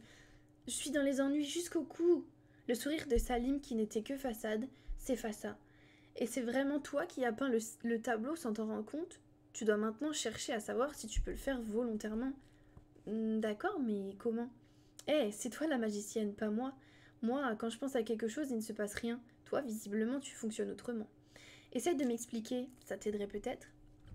C'est compliqué, Salim. J'imagine une scène et tout à coup, elle m'apparaît avec la netteté d'une chose réelle. Et c'est pas tout, je peux la modifier comme je veux. Retoucher un trait, foncer une couleur, gommer un détail, en renforcer un autre. En fait, c'est comme si je dessinais. Et pour faire ça, tu bascules dans un autre monde. Oui, c'est ce que j'ai ressenti. Mais ce n'est pas un monde comme tu l'entends. C'est dans ma tête que ça se passe. Salim prit un air dubitatif. Je ne comprends rien. Mais je continue à penser que tu dois essayer de le refaire. Tu n'as pas une autre idée? Non, mais comme a dit le gendre de ma grand-mère en pinçant le nez du requin blanc qui était en train de le bouffer, il vaut mieux une idée bizarre que pas d'idée du tout. Camille eut un demi-sourire. Heureusement que Salim était là. Avec lui, les problèmes n'étaient jamais graves. Elle réfléchit un instant. Non mais que du love les gars, que du love. Elle réfléchit un instant et ce qu'il venait de lui proposer, à ce qu'il venait de lui proposer, et dut, admettre qu'il y avait peut-être là un début de solution à ses ennuis. Elle s'assit sur le rebord d'une des plates-bandes de la cour et se passa la main dans les cheveux. Salim la regardait, les bras croisés. Ok, j'ai essayé, finit-elle par dire. Et tu vas nous dessiner quoi cette fois-ci? demanda-t-il en souriant. Un double cornet à la vanille? Ton ventre te perdra, Salim. Non, je vais dessiner un rosier, déclara-t-elle en montrant le sol nu à l'exception de quelques brins d'herbe sèches. Camille tenta de se concentrer pour construire l'image d'un rosier, mais elle était sans cesse gênée par des pensées parasites. Elle crut plusieurs fois y parvenir. Pourtant l'image ne ne prit jamais la netteté du dessin sur le tableau noir. Elle rouvrit les yeux. Je n'y arrive pas. Je vois le rosier dans ma tête, mais je ne le dessine pas. Sans répondre, Salim se baissa, ramassa quelque chose, puis se tourna vers Camille. Ce n'est pas vraiment un rosier, mais c'est bien une fleur, et elle n'était pas là tout à l'heure. Camille saisit délicatement la minuscule rose blanche qui lui tendait. Heureusement que je n'ai pas essayé de dessiner une glace, répliqua-t-elle avec un pauvre sourire. Tu m'aurais trouvé mesquine. Fin du chapitre 6. Euh...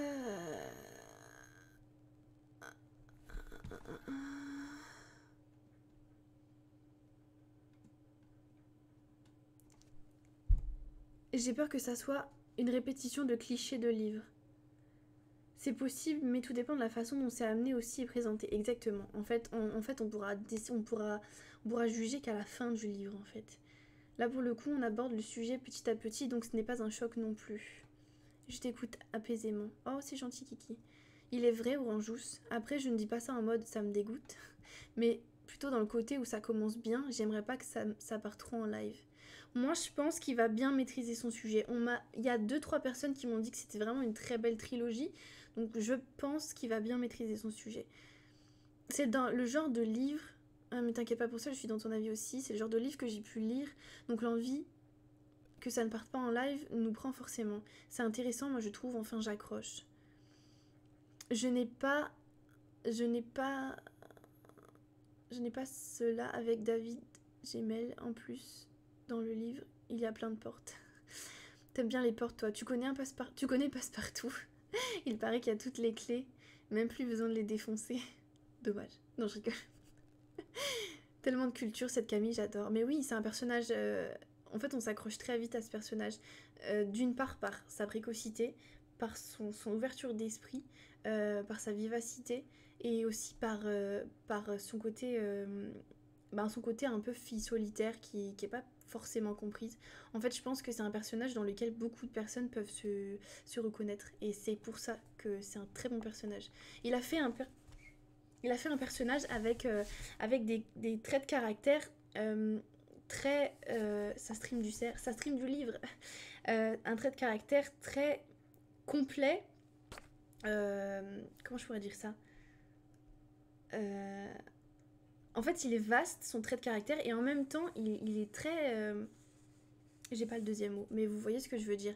Et donc, du coup, on peut très facilement se mettre à la place du personnage. Ce petit enfoiré de passe-partout, je déteste, il a cassé mon rêve.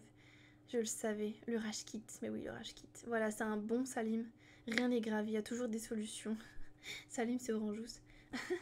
J'adore la, la, complicité entre les deux protagonistes. C'est vraiment très beau. Après, ça fait vraiment un peu. Enfin, moi, je trouve que ça fait un peu histoire d'amour. Du moins, début d'histoire d'amour. C'est mignon, c'est super mignon, c'est ce qu'on aime tous. Hein. Les débuts, c'est très beau, c'est très cucu, c'est magnifique. Mais euh, je sais pas. Après, est-ce qu'il va se faire friendzoner? Est-ce que, est-ce que, est-ce qu'ils vont tomber amoureux? Est-ce que, je sais pas, on verra peut-être. Je sais pas si le, si l'auteur va prendre part de cette relation entre les, entre les deux protagonistes. Je ne sais pas du tout s'il va, s'il va utiliser cette relation, cette complicité justement. Et salut Dark de la lecture, c'est la quête des Willan. Je ne vois pas le livre. À qui? Il est là.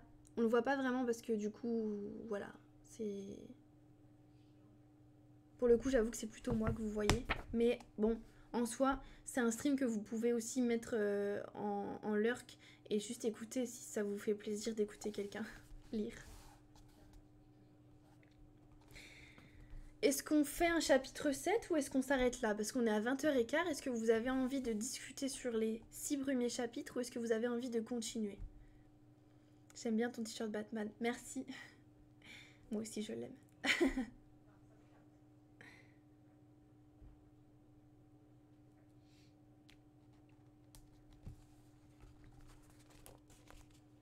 suis fan de Batman. Bah moi je suis pas fan de... Enfin, disons que je suis pas une fanat de la licence, mais par contre, euh, mais par contre le personnage, euh, enfin voilà quoi, l'homme chauve-souris, un peu dark comme ça, qui va aider les gens, c'est voilà, comme tu le sens honnêtement, c'est Batman quoi. Bah oui mais moi j'aimerais avoir l'avis des autres, parce que toi je sais que tu vas me suivre, mais est-ce que les autres ont envie qu'on continue? C'est une bonne question. Yes, il n'a pas de pouvoir. Mais justement, c'est ça qui est bon. C'est la force. C'est la force de l'être humain. C'est la puissance. Je viens de regarder, il y a carrément une BD. Oh, sans doute.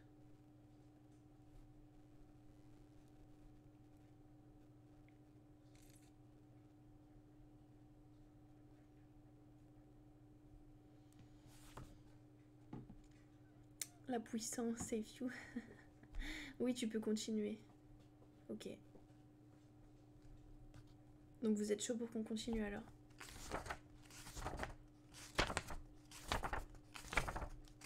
Oh, le chapitre 8, il est épais.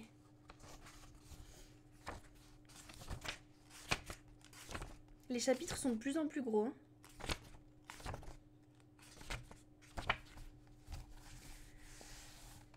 Donc pour le moment, ça vous plaît alors? Vous êtes assez hypé par l'histoire euh, Est-ce que, est que vous aussi, tu veux qu'on dorme avant minuit? Bah justement, mon stream, il est là pour que si vous avez envie de vous coucher tôt ce soir, moi je vous endors. Je vous raconte la petite histoire. Vous vous allongez dans votre lit avec les écouteurs. Je vous lis le livre et y a pas de souci. Vous vous endormez sur mon stream, y a pas de souci. C'est avec un grand plaisir. ASMR lecture ici. Chaud patate. Parfait. Euh, bah racontez-moi un petit peu. Dites-moi, genre, euh, est-ce que, est-ce que vous, est-ce que vous, vous vous représentez un petit peu dans le personnage? Est-ce que vous arrivez un petit peu à vous mettre à sa place? Est-ce que, euh, est-ce que vous vous reconnaissez dans sa personnalité ou dans celle de Salim, par exemple aussi? Peut-être. N'hésitez pas, je vais faire une pause pipi. Vivement qu'on ait les mots. Je vais faire une petite pause pipi et je vous relis dans un instant. Je vous relis, petit jeu de mots.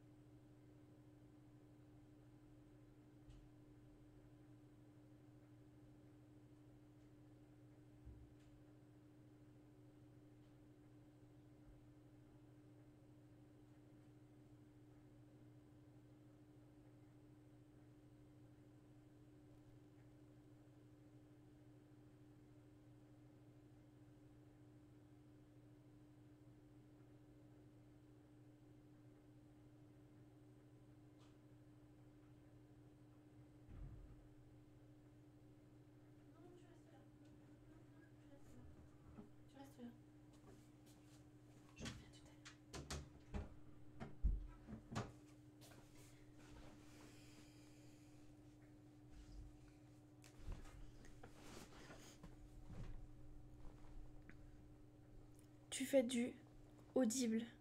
Bah euh, oui, en, quelque sorte, on pourrait très bien euh, prendre euh, la piste audio du, stream et en faire un, espèce de podcast. J'ai déjà une étiquette de personnage collée sur mon front. Quelle étiquette orange? Tu nous, as fait, tu nous fais un qui suis-je? Pour ça, faut demander à Julien Lepers. Bon, du coup, on continue alors.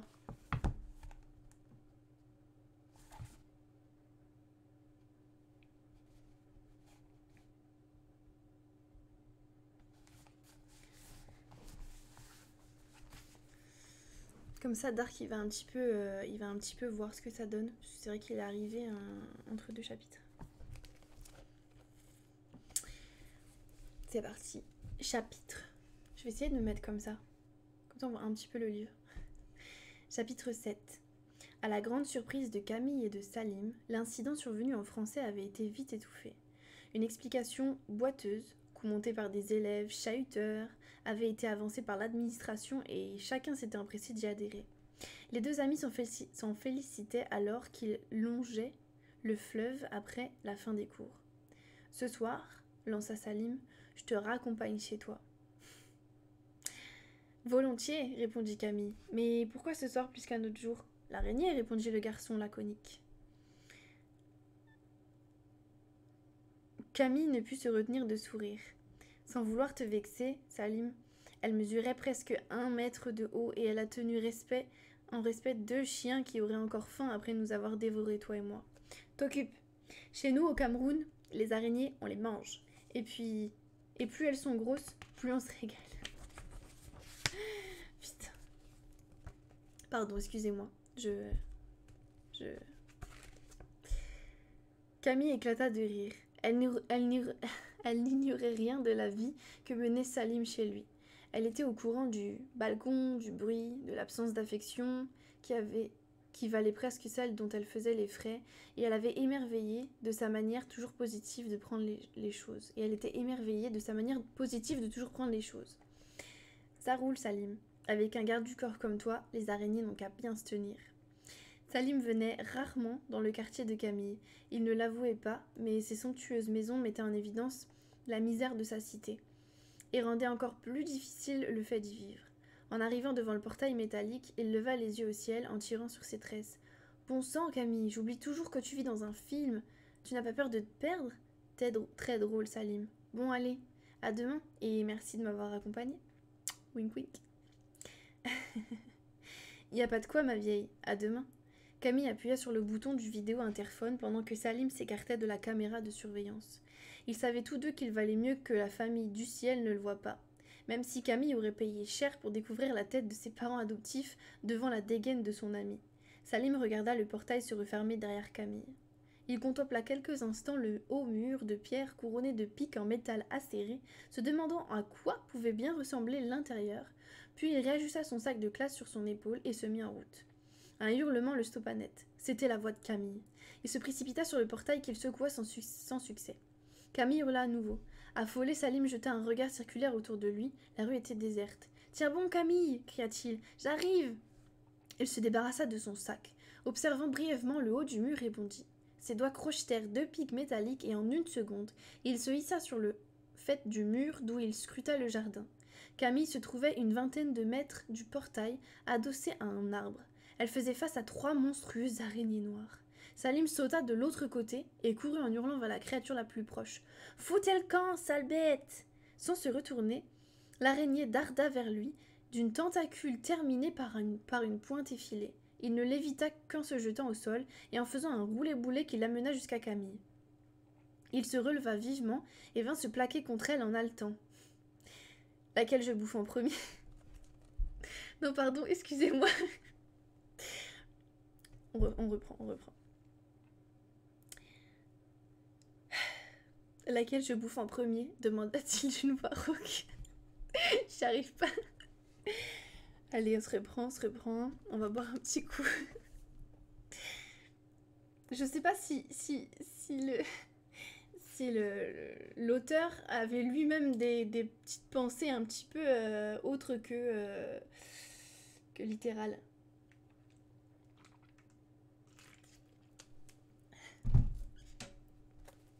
Ça croque de l'araignée sec ici, oui.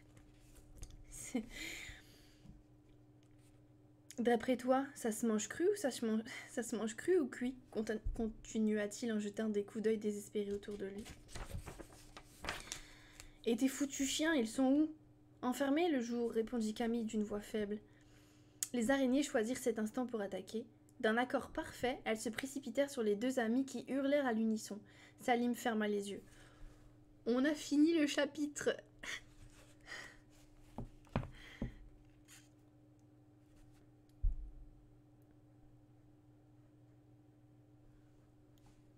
J'arrive en plein milieu, je piche que dalle. On te fera un petit, euh, un petit euh, repeat euh, à la fin si tu veux. Je piche que dalle, comme un cheveu sur la soupe. On les mange, hmm, mes bonnes grosses sucettes d'araignée. C'est quoi comme genre? Wink wink, fantastique. Fantastique teenage, genre Twilight Non, non, fantastique, fantastique. miam, miam, miam, miam. Ça croque de l'araignée sec ici. L'auteur est actuellement en prison. Et Nawel, plusieurs niveaux de lecture. Oui, je pense. Je pense. Selon, ton, selon l'âge à laquelle tu lis ce livre, tu as une, perspective de l'histoire différente, à mon avis. Parce que c'est quand même un livre que j'ai trouvé dans une école primaire. Euh, donc. Euh, donc voilà selon ton caractère aussi, évidemment, évidemment, évidemment. On se fait un petit chapitre 8 et puis, et puis on se fait la petite, le petit débrief. Euh, on expliquera à Dark euh, l'histoire, grosso modo. Et puis, euh, sauf si vous êtes chaud, patate, pour, pour lui faire un débrief là maintenant tout de suite pendant que je lis le chapitre 8 qui est euh, un petit peu plus long. Hein. Là, euh, vous allez en avoir pour votre argent.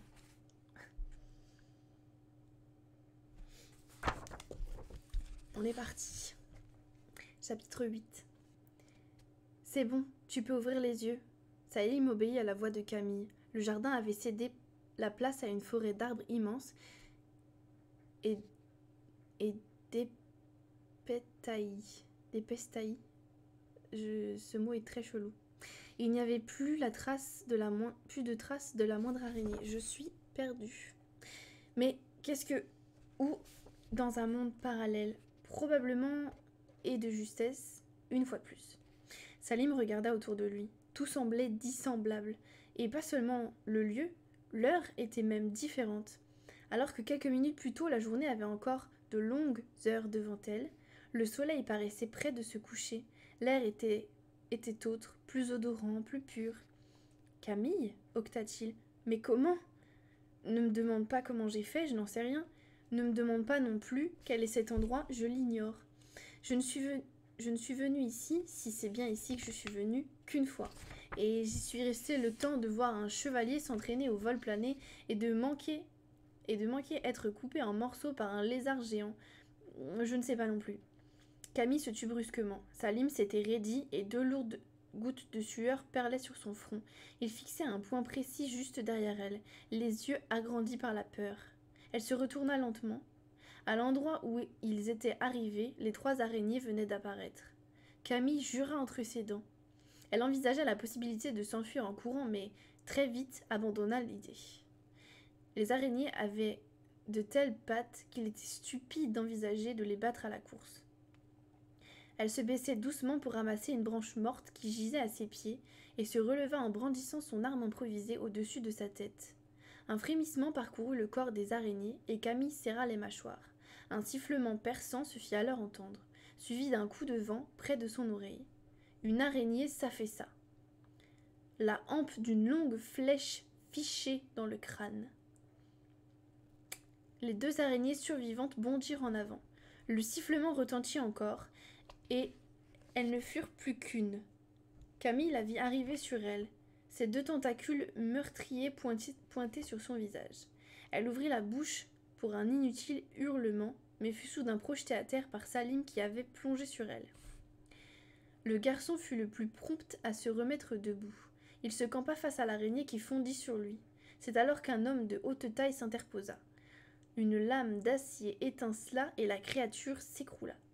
Salim poussa un long soupir et s'accroupit près de Camille. L'homme, qui leur avait sauvé la vie, repoussa l'araignée du pied, puis s'assura que les deux autres étaient bien mortes. Immobiles, les monstres étaient encore impressionnants. Ils possédaient huit pattes, mais ils s'arrêtaient. Mais là s'arrêtait toute véritable ressemblance avec des araignées. Leur corps était couvert d'une carapace sombre et huileuse, et leurs deux tentacules les différenciaient de tout animal connu. À leur extrémité, un dard de plusieurs centimètres laissait suinter un liquide blanchâtre, certainement du venin. L'homme scrutait le sol. Il se déplaçait avec une aisance quasi féline, son sabre à la main, sans faire craquer la moindre brindille. Pardon. Il ramassa quelque chose par terre et qu'il lança à Salim. Le garçon l'attrapa au vol et reconnut une de ses tresses. Oh, il a perdu une tresse. Désolé, fit l'homme avec un sourire. Elle était sur la trajectoire de ma première flèche. Il essuya soigneusement sa lame avant de la ranger dans son fourreau et se retourna vers les deux amis qui le dévisageaient, muets de stupéfaction. Je serais curieux d'apprendre les raisons de votre présence ici, et de ce que des jeunes gens comme vous ont à voir avec des marcheurs, mais ce n'est pas le moment idéal d'en parler. Nous devons d'abord nous éloigner. Les cadavres de ces créatures vont attirer des charognards qui ne crachent pas sur la viande fraîche. Enfin ça. Il parlait de la, voix posée. Il parlait de la voix posée de celui qui a l'habitude d'être obéi. Il récupéra les flèches qu'il avait tirées et les examina attentivement. Il en jeta une, qu'il devait juger trop abîmée, et nettoya l'autre avec une poignée d'herbe avant de la replacer dans le carquois qu'il portait à la ceinture. Je m'appelle Edwin, reprit-il. Suivez-moi. Salim regarda Camille. Il n'appréciait pas le ton autoritaire d'Edwin. Tu peux nous faire rentrer chez nous? murmura-t-il. Elle fit une petite grimace. Pas que je sache, désolé. Salim eut un haussement d'épaule fataliste. Alors je suppose que nous avons intérêt à le suivre. Cette forêt est jolie, mais je ne suis pas sûre d'apprécier les bestioles qui y gambadent. Camille opina de la tête, et ils rejoignirent le guerrier qui, quelques mètres plus loin, ramassait un étrange sac de fourrure d'où pointaient trois bâtons terminés chacun par un bouquet de plumes. On peut dire que vous avez eu la chance que je passe par là. Les marcheurs sont redoutables. Les aiguillons de leurs tentacules sont empoisonnés, et pour ne rien gâcher, ils font le pas sur le côté. Qu'est-ce que. commença Camille? Mais Edwin s'était déjà mis en route à grands pas, et elle dut remiser ses questions. Ils marchèrent une bonne heure en silence. La forêt n'était pas très touffue, mais s'y déplacer au rythme imposé par Edwin rendait impossible une conversation suivie. Les arbres les écrasaient de leur masse, et plusieurs fois ils sursautèrent alors qu'une bête sauvage prenait la fuite sur leur passage. Au détour d'un haillé épais, ils aperçurent une magnifique créature, chevaline, à la tête couronnée de bois impressionnant. De bois impressionnants, qui passait l'herbe drue. L'animal tourna calmement la tête vers eux, les regarda un instant, et s'enfonça dans le sous-bois en ne manifestant aucune crainte. Tu as vu ce que j'ai vu? chuchota Camille. Salim hocha la tête, les yeux écarquillés. On dirait, ajoutait-elle, que nous venons de rencontrer le roi des cerfs en personne. Un cerf de trois mètres de haut? Nous ne sommes plus chez nous, Salim, et nous risquons, nous risquons bien d'autres surprises de ce genre. La nuit tombait, et la forêt dans l'obscurité naissante devenait inquiétante. Leur guide ne tarda pas d'ailleurs à faire halte dans une clairière dont le centre était occupé par un rocher haut comme deux hommes, recouvert d'un lichen grisâtre. Il posa son sac à terre. Allumez le feu pendant que je place mes alarmes, ordonna-t-il. Camille et Salim se regardèrent une fois de plus avec étonnement, tandis qu'Edwin tirait de son sac les trois, bâtons, les trois bâtons emplumés et s'éloignait vers la lisière des arbres. Je suppose, dit Salim, que nous pouvons commencer par ramasser du bois. Ils amassèrent rapidement un fagot conséquent. Tu as des allumettes sur toi s'inquiéta Camille. Désolée, j'ai mon nez qui me chatouille. Non, et je n'ai pas de briquet. Il commence à m'énerver celui-là, ragea-t-elle. Tout sauveur qu'il soit, il nous fait marcher une heure sans dire un mot, il ne nous donne aucune explication, et il nous demande d'allumer un feu comme si on passait notre temps à ça. Du calme, ma vieille, se moqua Salim. Un feu sans allumettes, ce n'est rien à côté de ce que nous venons de vivre. Camille sourit. Tu as raison. Ce qui me fait penser que mes parents doivent commencer à s'inquiéter. Qu'est-ce que je vais leur raconter en rentrant? Salim pencha la tête d'un air surpris et s'approcha d'elle. Parce que maintenant tu peux nous faire rentrer? À vrai dire, je n'en sais rien, admit-elle. Mais comme ça a déjà fonctionné trois fois, ah, notre héros est de retour. Edwin s'approcha d'eux et considéra le tas de bois avec un air navré. La nuit va arriver, et le froid avec. Pourquoi n'avez-vous pas allumé le feu? Camille explosa. Parce qu'un feu sans allumette est aussi facile à allumer qu'un éclat d'intelligence dans le regard d'une vache. Voilà pourquoi. Elle répartit. Par le sang des figés, s'emporta Edwin. Je ne sais pas de quoi tu parles, mais si tu continues à employer ce ton, tu vas finir avec les fesses cuisantes. Camille ouvrit la bouche puis se ravisa et se renfrogna. À côté d'elle, Salim pouffa. Il n'aurait peut-être pas dû, car Edwin le remarqua. Et toi, au lieu bêtement, va chercher du bois, pas des brindilles. J'ai dit que le froid allait tomber. On ne fait pas un pique-nique d'agrément. Salim sursauta et, après une brève hésitation, obtempéra. Edwin se tourna alors vers le fagot posé près du rocher et parut se concentrer. Camille le regarda soudain très attentive. Il lui semblait discerner quelque chose de familier. Elle se concentra à son tour et elle comprit. Edwin était en train de dessiner. Il était immobile, n'esquissait aucun geste. Tout se déroulait dans son esprit. Mais elle percevait clairement ce qu'il faisait. Il imaginait une flambée de bois et tentait de rendre réelle sa création, ce qui était loin d'être facile. Camille apprécia la finesse du dessin, en remarquant toutefois la faiblesse de certains traits. Dans son souvenir, les deux dessins qu'elle avait tracés étaient beaucoup plus précis et plus réalistes. Le bois commençait à fumer et Edwin poussa un petit grognement. Il peinait manifestement. Presque malgré elle, Camille tendit son esprit vers le dessin. En une fraction de seconde, de seconde, les couleurs prirent de la netteté, les détails se précisèrent, le dessin devint réalité. Le tas de bois s'embrasa tout d'un coup.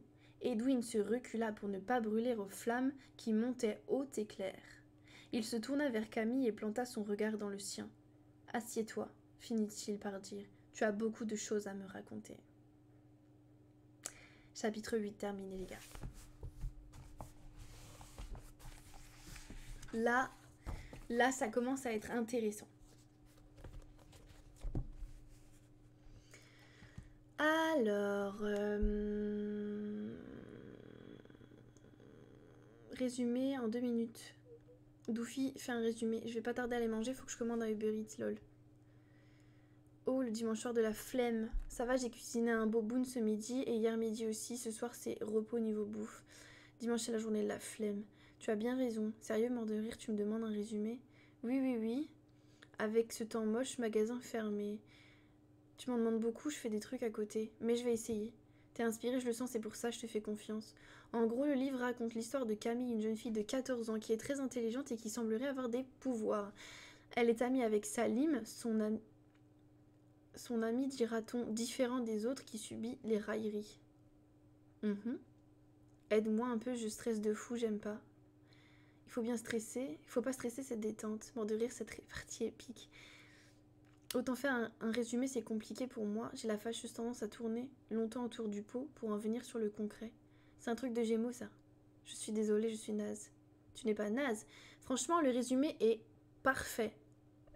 En gros, euh, c'est ça. Euh, c'est Camille, une jeune fille de 14 ans, assez précoce sur certains sujets de la vie, somme toute normaux.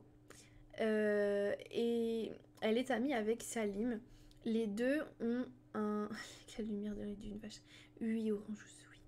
Les deux ont un climat assez particulier dans leur famille, étant donné que Camille a été adoptée par ses parents.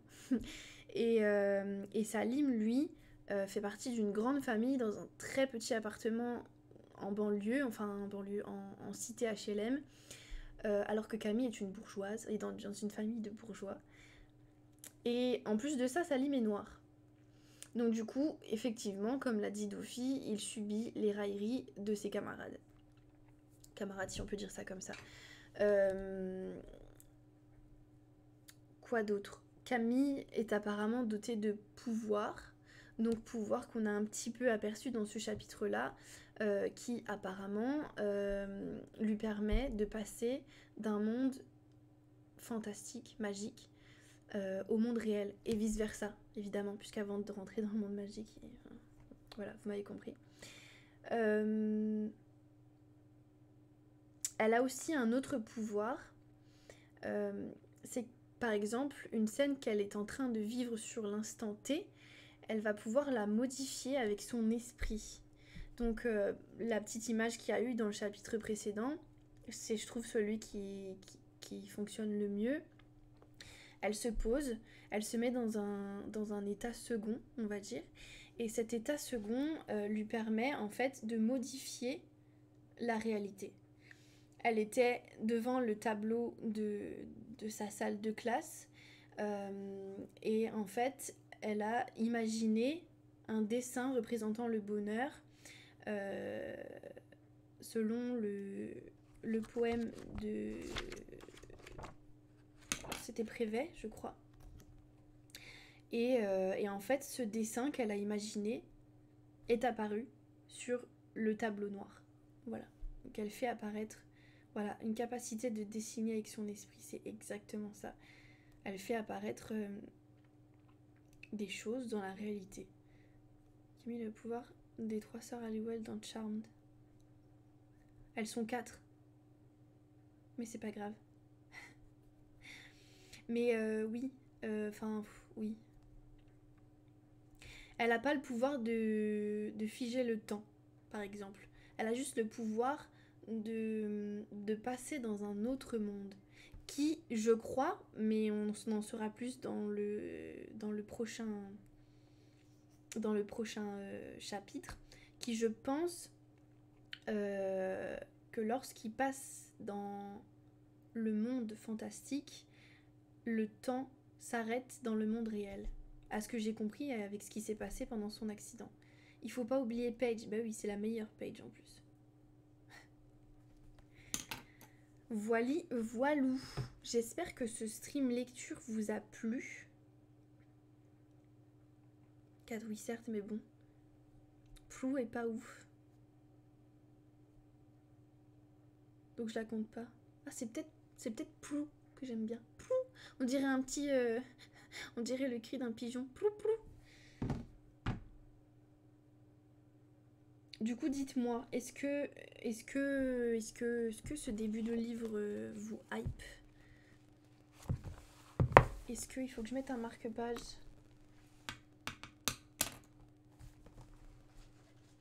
Sympa ce pigeon. T'as vu, je fais bien le pigeon. Hein.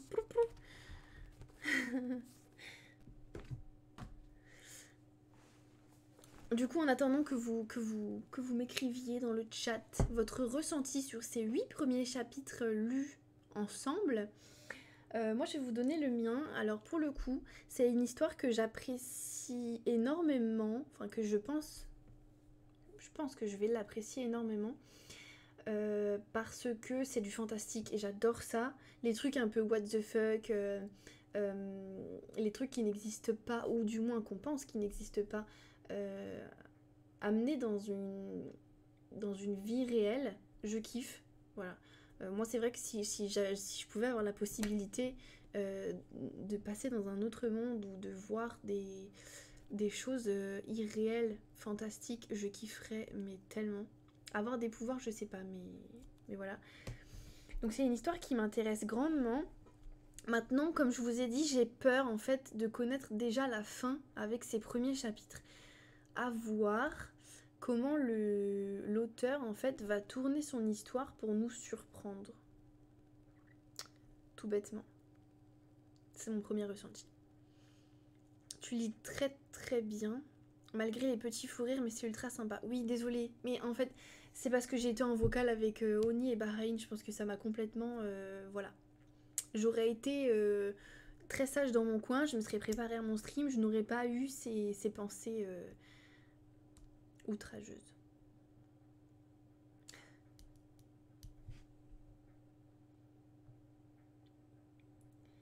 Mais merci en tout cas. Euh, en tout cas, si, si, euh, si ma façon de lire vous, vous convient, ça, fait, ça me fait extrêmement plaisir. Et du coup, on pourra se retrouver dimanche prochain pour la suite. Et à la vitesse où on lit le livre, il faut tout de suite que je cherche la suite. Parce que je pense qu'au prochain... Non, euh, peut-être peut dans deux streams, il est fini le livre.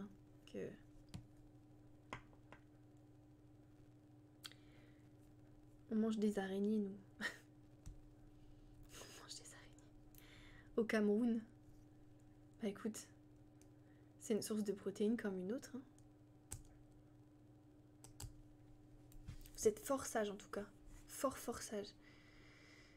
J'ai cette, impression que le personnage de Camille est très terre à terre dans la manière de penser et que le fait qu'elle ait ce pouvoir va l'aider à, vraiment être une enfant de son âge et pas quelqu'un de très vieux entre guillemets. Je sais pas si vous voyez ce que je veux dire. Je vois totalement ce que tu veux dire. Euh, Bah en fait ça peut être ou tout ou rien. Soit ce pouvoir va l'aider à euh, effectivement rajeunir un petit peu au niveau de son intellect en vivant des choses un petit peu what the fuck et, euh, et en ayant un peu son monde, on va dire son monde à elle, enfin son monde à, eux, à elle et Salim, euh, ou soit ou soit toute autre, toute autre chose. Ça peut aussi très très bien, euh, au contraire, lui faire prendre une maturité encore plus impressionnante du fait qu'elle vit, elle va vivre des aventures, j'imagine, énormissimes. Elle va vivre des choses avec des responsabilités, etc., etc.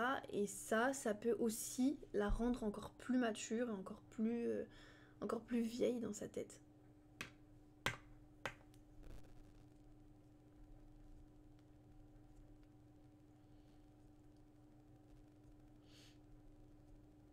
De ouf, Guedin.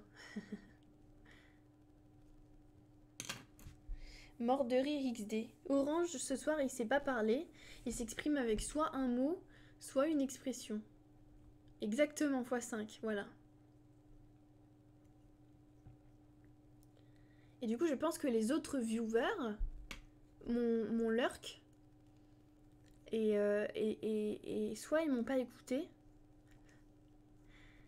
soit ils ont pas envie de s'exprimer, soit ils ont pas du tout aimé.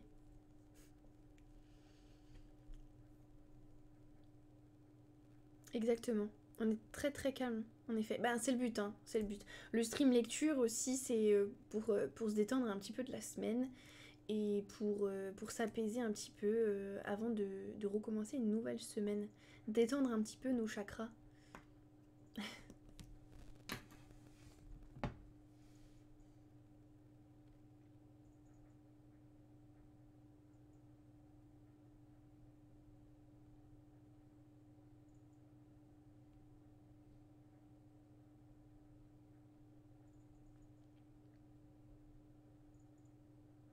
Je à m'endormir. C'est mignon. On va lancer une, une chaîne ASMR ici. Non, mais en vrai, Camille va être un personnage très intéressant à suivre dans son évolution personnelle. Il y a encore son passé qui reste un gros point d'interrogation, mais c'est intéressant. Oui, pour toi, c'est un point d'interrogation. Moi, j'ai déjà toutes les réponses, sans connaître le livre. Mes chakras, je les concentre dans mes pieds pour marcher sur les murs. Mais Oni. Mais what? Chakra, c'est quoi cela? Je connais pas. Moi, je suis stressée, moi, madame. Limite un malade du stress. Je vais pas spoiler non plus. Oui, oui, c'est sûr. Mais moi non plus. Et dans, dans tous les cas, enfin, moi, je le connais pas. Je l'ai jamais lu, le livre. Mais je te dis déjà tout de suite, au premier chapitre, je savais très bien ce qui allait se passer, en fait. Enfin, ça, j'ai un, un problème monstre, mais même dès que je vais mettre un film en route sans le connaître, euh, je, je vais déjà connaître la fin et ça, ça m'agace. C'est pour ça qu'en fait, je regarde rien. Parce que je, je m'ennuie. Je connais déjà la fin. Je sais déjà ce qui va se passer.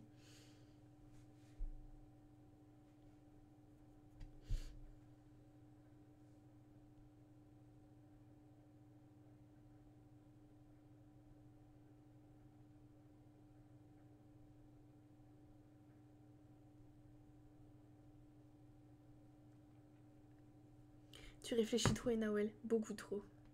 Beaucoup trop. je ne suis pas aussi expert que toi, Enawel. J'ai aussi ce côté, mais il me faut un peu plus de temps. Ah, bah. Mais c'est dérangeant. Et je pense que c'est aussi pour ça que j'avais arrêté de lire, en fait. Parce que. Parce que je. c'est surfait. C'est surfait pour moi, en fait.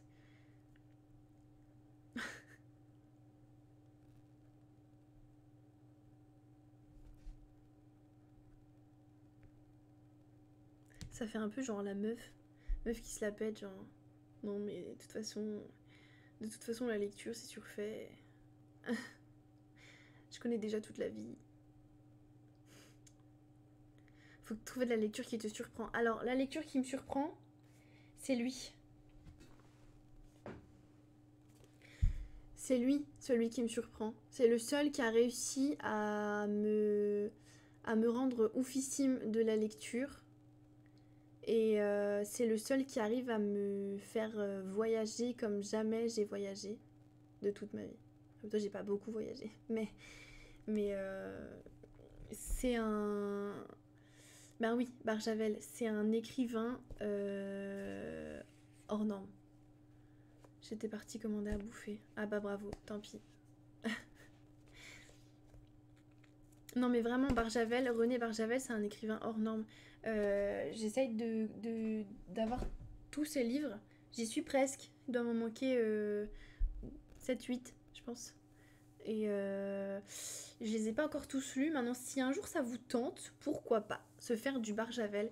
Mais alors là, vous allez me perdre. Hein. Vous allez me perdre, mais me perdre. C'est plus que chiant, c'est juste problématique. J'ai l'impression d'être un éternel insatisfait. Désolée.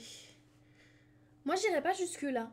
Je suis. Euh, je peux être satisfaite d'un rien, sans partir sur des délires euh, chelous. Je peux être satisfaite d'un rien.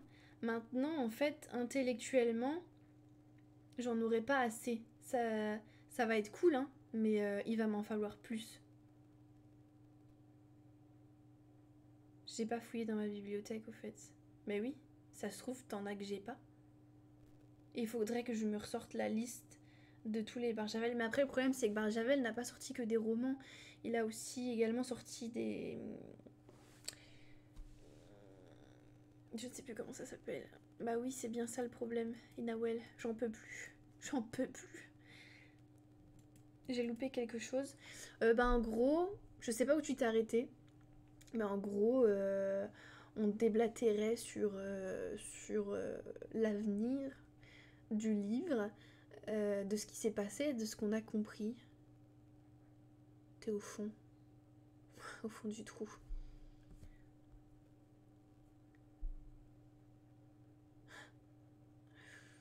En tout cas, je sais pas si j'ai le bon nombre de spectateurs, mais on est plutôt pas mal. J'ai l'impression que ça plaît. Ça me fait plaisir. N'hésitez pas à, venir discuter avec nous. Hein. Euh, en, plus, euh, en plus, le dimanche, on va être vraiment très calme. Donc, on va, être ouvert sur des discussions un peu plus, euh, un sensées. À part Oni qui fait toujours de la merde. mais n'hésitez pas à venir discuter avec nous, à nous donner votre point de vue. C'est toujours agréable. Après, sachez que je ne vais pas lire que du fantastique. Là, j'ai commencé par la, trilogie. J'aurais pu commencer par un simple, mais j'ai commencé par une trilogie. Euh, mais je ne vais pas lire que du fantastique. Il va y avoir également...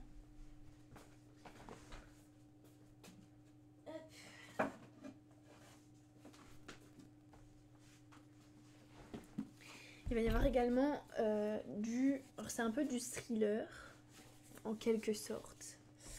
Avec le pacte du, silence, il va y avoir euh, l'étrange cas du docteur Jekyll et Mr. Hyde. On voit pas du tout avec la luminosité, c'est parfait. Euh, il va aussi y avoir euh, des textes sur la guerre, parce que ça intéresse tout le monde. Et aussi des livres un petit peu anciens avec des petites histoires de jeunesse. Ici, c'est le capitaine Fracasse. Voilà. Après, je peux aussi vous sortir d'autres choses de ma bibliothèque personnelle. Tu vas nous lire du Stendhal. Je sais. Du Stendhal? Alors, oh, sur le coup, ça me dit rien. Peut-être que j'ai... Il y a certains livres que... Stendhal. Henri Blay. Plus connu sous le pseudonyme de Stendhal. Écrivain français connu en particulier pour ses romans Le Rouge et le Noir et La Chartreuse de Parme. Et eh bien je ne connais absolument pas, mais vraiment pas. Et eh bien pourquoi pas? Pourquoi pas Je suis capable de vous lire de tout, hein, mais vraiment de tout. Le ventre de Paris.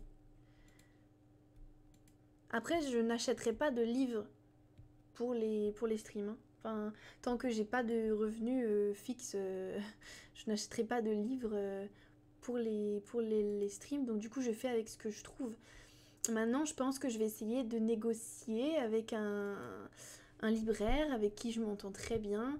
Essayer de voir avec lui si je peux pas, euh, euh, en lui faisant peut-être un petit peu de publicité sur ma chaîne, du coup, euh, lui, lui emprunter quelques livres et lui redonner ensuite une fois terminé.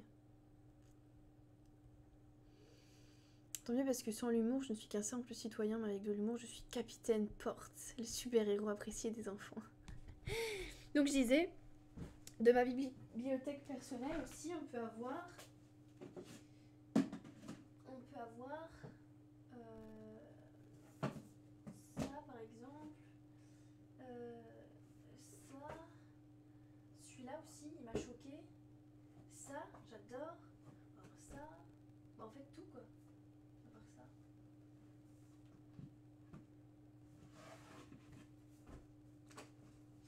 Grosso modo, j'avais j'avais une bibliothèque pleine, mais vraiment pleine, pleine, pleine, pleine, pleine.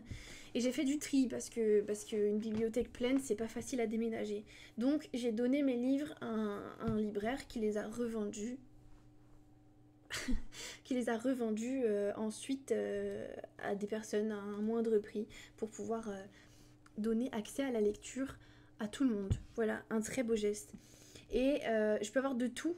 On peut avoir le journal d'Anne Frank, par exemple. Euh, Himalaya, l'enfance d'un chef. Celui-là, c'était pour le taf. On peut avoir les lettres de Montmoulin. Une bouteille dans la mer de Gaza.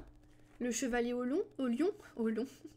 Le chevalier au lion, ça, beaucoup de personnes le connaissent parce qu'on le découvre euh, à l'école. Euh, Antigone, pièce de théâtre magnifique. Vraiment magnifique. On peut avoir ceci, le bizarre incident du chien pendant la nuit. Ça parle de handicap. Ça parle d'un d'un oui enfant euh, autiste avec des troubles autistiques. La Dame aux camélias, magnifique histoire, vraiment magnifique. Une vie de Maupassant. La Vénus d'île de Mérimée, très rapide à lire, un peu what the fuck, mais très beau. Zola de Thérèse Raquin. On va avoir des souris et des hommes aussi. Ce livre-là, il m'a retourné, hein, vraiment. Euh, c'est pareil, ça parle aussi de handicap. Euh, Il y a un des protagonistes qui, euh, qui a un handicap mental, un retard mental, et, en fait, ça montre la cruauté de, la société envers les, personnes qui ont un handicap. Iqbal aussi, ça, parle de l'esclavagisme des enfants, le travail des enfants, etc. L'histoire du chevalier des griots et de Manon Lescaut, magnifique histoire aussi. Et on peut avoir un gros thriller aussi, euh, ça c'était ma maman qui me l'avait prêté. C'était pour dans le train. Voilà, c'est un petit peu. euh, je vous montre un petit peu. De, je, lis de tout. Que de la bonne lecture dans ta bibliothèque. Mais oui, et ça, c'est mes, mes favoris en fait. C'est c'est tous les livres qui m'ont retourné et que j'ai, que j'ai gardé euh, près de moi. Que je garderai près de moi. J'en suis quand le petit de baseball se fait tuer. T'as lu Doctor Sleep? Ah, je ne connais pas Doctor Sleep. Mais voilà un petit peu tout ce que, tout ce que je peux vous lire. Ouais, c'est les coups de cœur, c'est ça. Moi, les coups de cœur. Mais voilà. Et puis, bah, tous ceux que j'ai de Barjavel, euh, j'en ai, ai vraiment une tonne. hein. Et c'est que le début.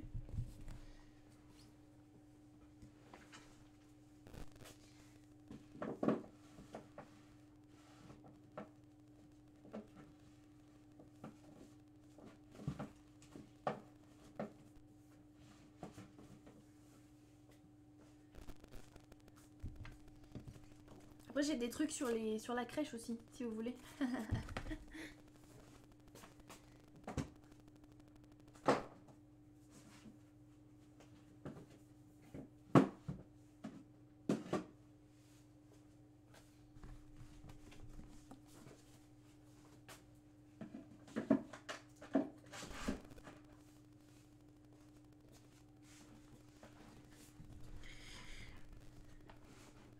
du Stephen King.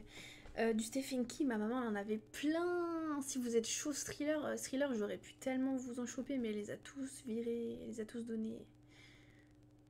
L'adaptation du film n'était pas si mal que ça. Après Stephen King, euh, Stephen King, les premiers livres étaient apparemment vraiment très très bien, et puis à partir du moment où il a eu son accident, il a perdu en qualité apparemment.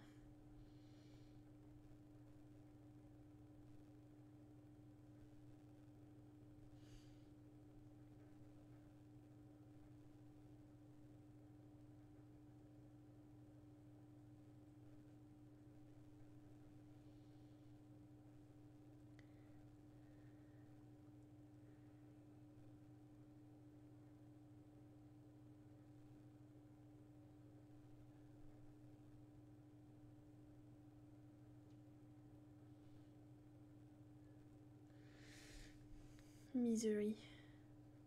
Ça me dit rien. Le pire qui m'a marqué, c'est Shining en livre. Moi, je suis pas très thriller à la base, mais euh, voilà, je, je, m'y suis testée. Euh, pourquoi pas Pourquoi pas Je suis ouverte à toute proposition.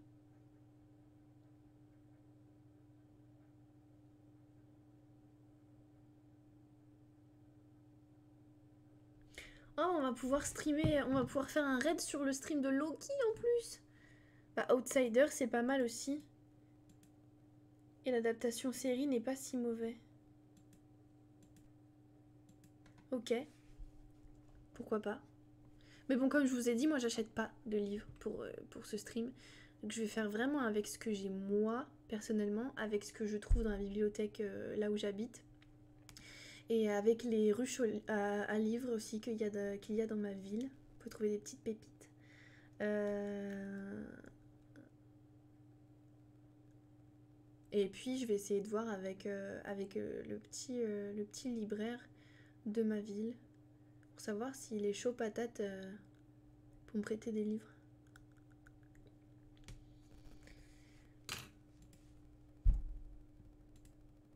Pire des cas, si t'es coincé à un moment, tu me dis, je t'enverrai un carton. Voilà le prix de ton envoi aussi. Bah par contre, essaye, si tu peux, ce serait vraiment trop cool. Regardez si t'as la suite, justement, de la quête des Willan, si t'as le 2 et le 3. Ça me sauverait vachement. Euh, pour qu'on puisse continuer euh, le stream sans, couper euh, d'un livre à l'autre, quoi. Ce serait cool. Merci, c'est gentil. Moi, j'essaie de regarder dans la bibliothèque de l'école. J'avais la trilogie. Bah oui, je me doute, mais comme tu te sépares pas des livres, je pense que tu l'as encore.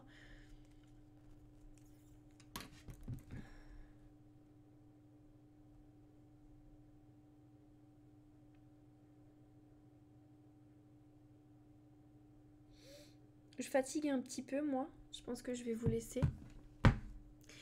Euh, en tout cas, je vous remercie énormément parce que euh, vous avez été euh, présents et vous avez écouté calmement, vous... Voilà, ça a été très agréable pour moi, pour ce premier stream.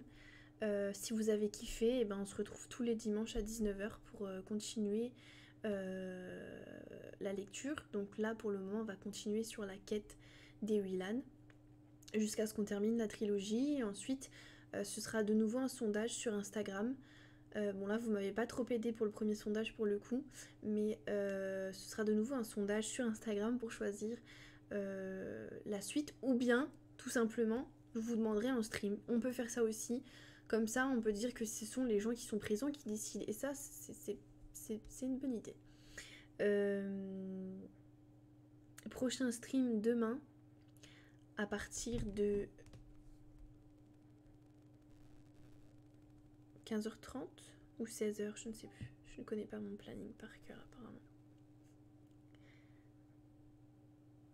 Prochain stream demain à partir de 15h30 sur les Sims 4. On continue l'histoire avec... Euh, à chaque fois j'oublie son prénom. Je sais qu'elle s'appelle... C'est avec un C. Son nom c'est Morel. En tout cas on va continuer avec la famille Morel. Avec les triplés. Euh, je ne sais pas s'ils vont grandir. Oui, les triplés. Bonne soirée, Dark, et merci d'être passé et bon appétit. Euh, on va continuer avec les triplés lundi à partir de 16h sur les Sims 4 et euh, on va les faire grandir, on va les faire devenir quelqu'un de quelques-uns de bien. Et merci. Oui, j'ai faim en plus. j'ai mon estomac qui commence à gargouiller. La fatigue m'emmène beaucoup quand quelqu'un lit un livre. Et eh bah tant mieux, écoute. Peut-être que la prochaine fois, tu te laisseras enivrer par, par le sommeil euh, et, franchement, euh, franchement pour moi, c'est un, très beau compliment qu'on me dise euh, qu'on s'est endormi alors que je lisais le livre. C'est très beau, merci. Et donc voilà, du coup, rendez-vous demain à 16h sur les Sims 4 pour ceux qui le désirent. Sinon, ceux qui veulent vraiment venir que pour les stream lectures, c'est tous les dimanches à partir de 19h. Voilà. J'espère que ça vous a fort plu. En tout cas, moi j'ai kiffé ce premier stream lecture avec vous. Euh, bonne nuit, bonne soirée plutôt. à demain, merci pour ton stream. À demain, Doufi, et merci pour, euh, pour ta présence. Merci, merci à tous. Je vous souhaite une bonne soirée, une bonne nuit pour certains, un bon courage pour la reprise de la semaine. Et, euh, et voilà. À très bientôt. Des bisous.